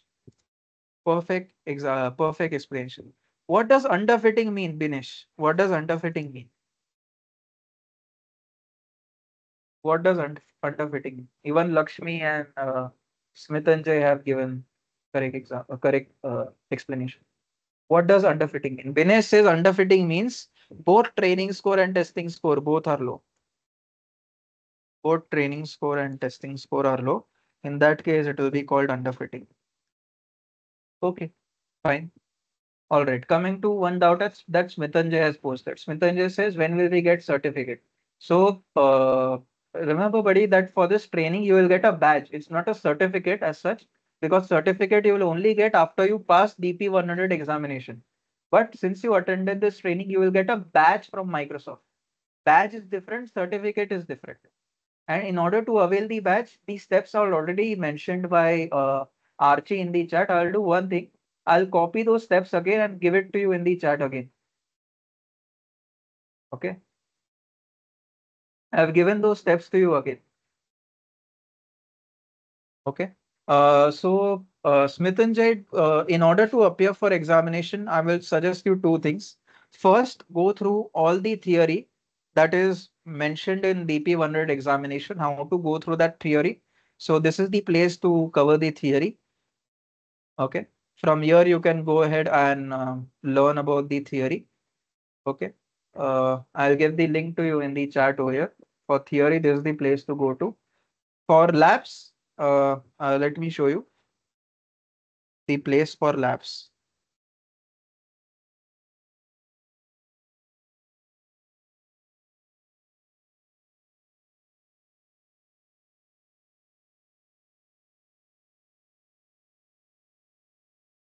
Ah. So this is the correct place to work with labs. Okay, and here if you open any of the labs, it will show you uh, uh, what to do, okay, and so on, what steps to do. So this is the correct place through which you will get instructions for labs. Once you do both the things, once you do both the things, uh, Smithanjay, then what you have to do is schedule the exam. Okay. Uh, so you can see over here in the first link that I shared with you, I have shared two links, one for theory, another for uh, practicing the labs. And in that link for theory only, uh, I think you should find a, a, button for schedule exam. Yes, if you scroll below, you see a button for scheduling the exam. You can click on the click on the button, provide your details like name, age, and everything, and uh, select the date in which you want to appear for examination. Remember, there are two modes in which you can give the examination. One is through uh, virtual mode, where you can appear for the examination through your uh, home as well. Uh, another mode is you will have to go to uh, your nearest uh, exam center in which the exam will be conducted. So you can appear in both uh, in any of these two modes. Okay. And remember, all the questions that will be asked will be MCQ questions only. You will get anywhere between 38 to 43 MCQ questions. The number of questions in the exam varies every day, but anywhere you uh, anywhere between 38 to 43 MCQ questions you will get in your examination. Uh, total examination will be of 1000 marks, out of which you need to score at least 700 to pass the examination. Okay. Fine. Any other doubt that you have, guys? Any other doubt? So guys, uh, you understood what, uh, whatever we covered today made sense? Understood? Was it understandable? What we covered? So we covered uh, machine learning basics first. Then we covered uh, two machine learning algorithms. First was KNN, second was multinomial naive Bayes. We saw the theory of those algorithms. We also saw its practical implementation. Okay, so were uh, uh, those demos that I showed to you, those slides that I showed to you clear? Okay, now uh, Lakshmi says, do we have any interactive labs? No, no, no, no labs, only MCQs in the examination, no labs. Okay, uh, Smithanjay, do you see an option for courses? Uh, uh, so I guess you are in the modules page. Next to modules, do you see an option for courses? Do you see it in your Microsoft portal? Yes, right. If you click on courses now, you will see this batch for DP100. Okay, which is called Azure Data Scientist. So you will see a badge for this. Okay. Uh, Lakshmi says, how did our accuracy of, uh, huh, let's see. So Lakshmi, uh, let me ask you one thing. Can I say it's very important that while selecting features and target, fine, the target will select based on our use case. But while selecting features, we should only have those feature columns that help me to predict the target, right? Useless feature columns we should not keep. I mean, if a column is not worthy to become a feature, we should not have that column, correct? Yes or no? Lakshmi? Yes, okay. Now I have a question. Okay, let's suppose I have some tweets. Now what will happen? Uh, in those tweets, we could have some common words. We could have some common words like is, a, the, so on. Now, do these common words help you to predict whether a tweet has been written by Trump or Justin Trudeau? Can I say these words can be written by anyone? Are these some special words? So for example, let's say CNN is a special word. We know that, okay, CNN is uh, tweeted more by uh, Trump, not by Trudeau. Okay, so CNN is a good word that can help you to predict whether uh, uh, who is the author of the tweet. But these common words, Lakshmi, common words like is, a, the, do they help me to predict whether the author is Donald Trump or Justin Trudeau? No. No. So can I say for these common words, uh, in count vectorizer, we know for all the words a new column is created. So Hmm. can I say, Lakshmi, what I want is for these common words, new column should not be created. New feature column should not be created, Hmm. correct? So Yes, what I did was, right, I made that setting in my code that for these common words, do not create a feature column. So now I don't have useless feature columns. Previously I had them. Previously for each of these common words like is, uh, they, uh, sorry, is, uh, the, for all of these common words, a, a new feature column was created. Okay, so we still had useless feature columns previously, but then I removed it. So with that, what happened if useless feature columns gets removed? It's like this, Lakshmi. If I'm training you and unnecessary, if I give you garbage information, then can I say your performance will be low, right? If I give you garbage information, your Yes, the performance in the exam will be low. No. Okay. On the other hand, if I remove that garbage information, if I only give you useful information, then your performance will be high. The same applies to the model. If you remove or if you remove those garbage feature columns that are of no use, the performance increases. Okay, Saravanan says, can you share the notebook? Yes, I'll share. Fine, so let me download it.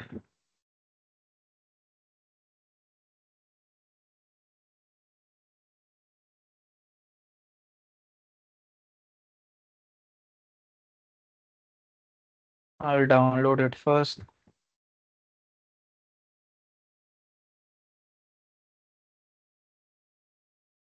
Let me download.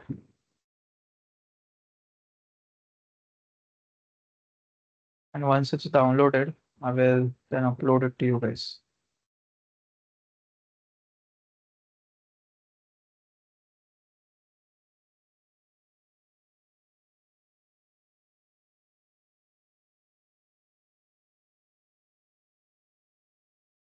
Let me upload. Is there a way to upload the chat?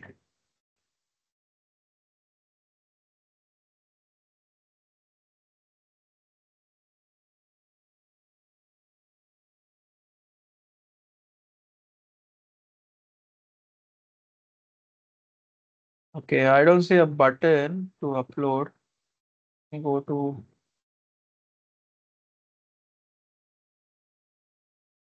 as a document.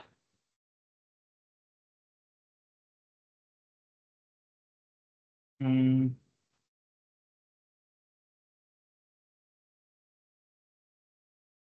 Okay, I'll do one thing. I'll share it with Archie and Archie will make sure that uh, she sends the lecture materials to you guys.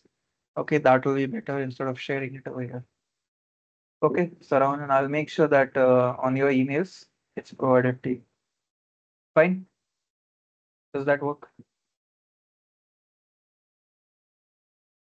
Okay. Uh, fine. So that is it for today, guys. I hope you found today's lecture useful. Okay, uh, the recording of this section uh, of this session will be available on our official YouTube channel. From there, you will get to uh, see more videos on DP100. Okay, uh, wherein we have covered other topics as well. You can go through it. Uh, Parag says, can you share some certificate paths for data science and data engineering? Okay. So what you do is, uh, let's say if you're just starting off in data science, I would first suggest you to cover DP 900 once that is done, then go to DP uh, uh, 100. Once that is done, go to DP 203. Okay. Once that is done, go to AI 900 certification exam. Once AI 900 is done, then go to AI 102. Once that is done, go to AI 050. So this is the path that I would suggest to you. You can take a screenshot of this if you like. Okay, was this the path that you were expecting? Uh, so if I would, if let's say you're going, uh, you want to know that in which uh, order should you do the certification, this is the order in which you should do. Okay, first DP 900, then DP 100, then DP 203. Remember DP 203 is all about how you can do data engineering on Azure. DP 100 is to become a data scientist. DP203 is to become a data engineer, basically. In other words, okay, wherein you will get to work so uh, work with services like Synapse, uh, uh, Data Factory, a lot of other services, Databricks. Okay, the other services that you will work with. Fine. Uh, in fact, I missed one. Uh, there is one certification introduced right now, uh, so which is DP 600. So after DP 203 covered DP 600 also. Okay. Uh, which is um, uh, fully made on a service called Microsoft Fabric. So this was just introduced some months back. This is a new certification and Microsoft Fabric is very important. Currently, there is a lot of demand for it in the market. So make sure that you do not skip DP 600 certification. Fine. So this is the order in which you should go ahead. Huh, as Lakshmi said, AI 900 is a basic one. But before you go to other AI uh, certifications, make sure that you co cover AI 900 first before you go to other AI certifications. Okay, make sure that you cover AI 900 first. As you mentioned, it's a basic one. Okay. Just like for DP 100, first I asked you to cover DP 900, right? DP 900 is a basic one. But before you go to any of the other DP certifications, I asked you to cover DP 900. Okay, just like that. Fine. Was this what you were uh, asking? Uh, sorry, who, what was the name? Parag, I guess. Or some other student? Yes, okay. Fine. So that is it for today, guys. I hope you found the lecture useful. Uh, and uh, yeah, do stay connected. You can contact us on LinkedIn. You can contact me on my personal LinkedIn ID as well if you have any doubts, or you can contact on the official uh, uh, social media plat uh, social media channels that Synergetics has. Okay, so that is it for today. Uh, thank you for uh, attending. Yes, thank you for thank you, Pranav. Yes, Mitanjay, any doubt?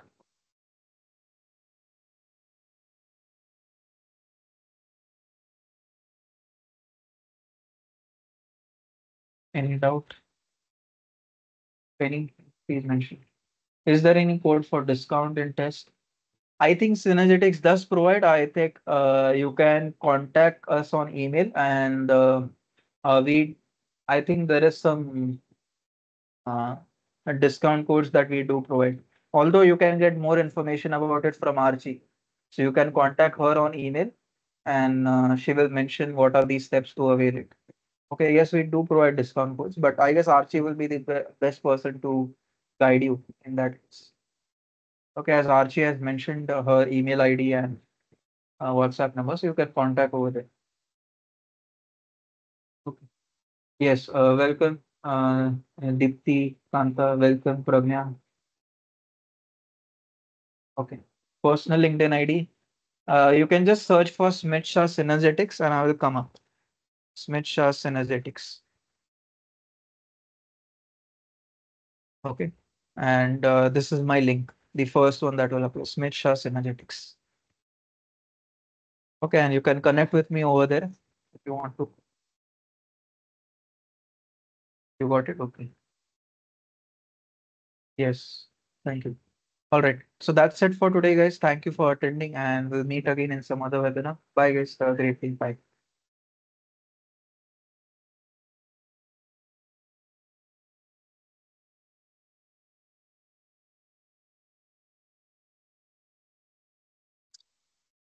Guys, make sure before leaving the session you fill this feedback form. I already shared on chat box.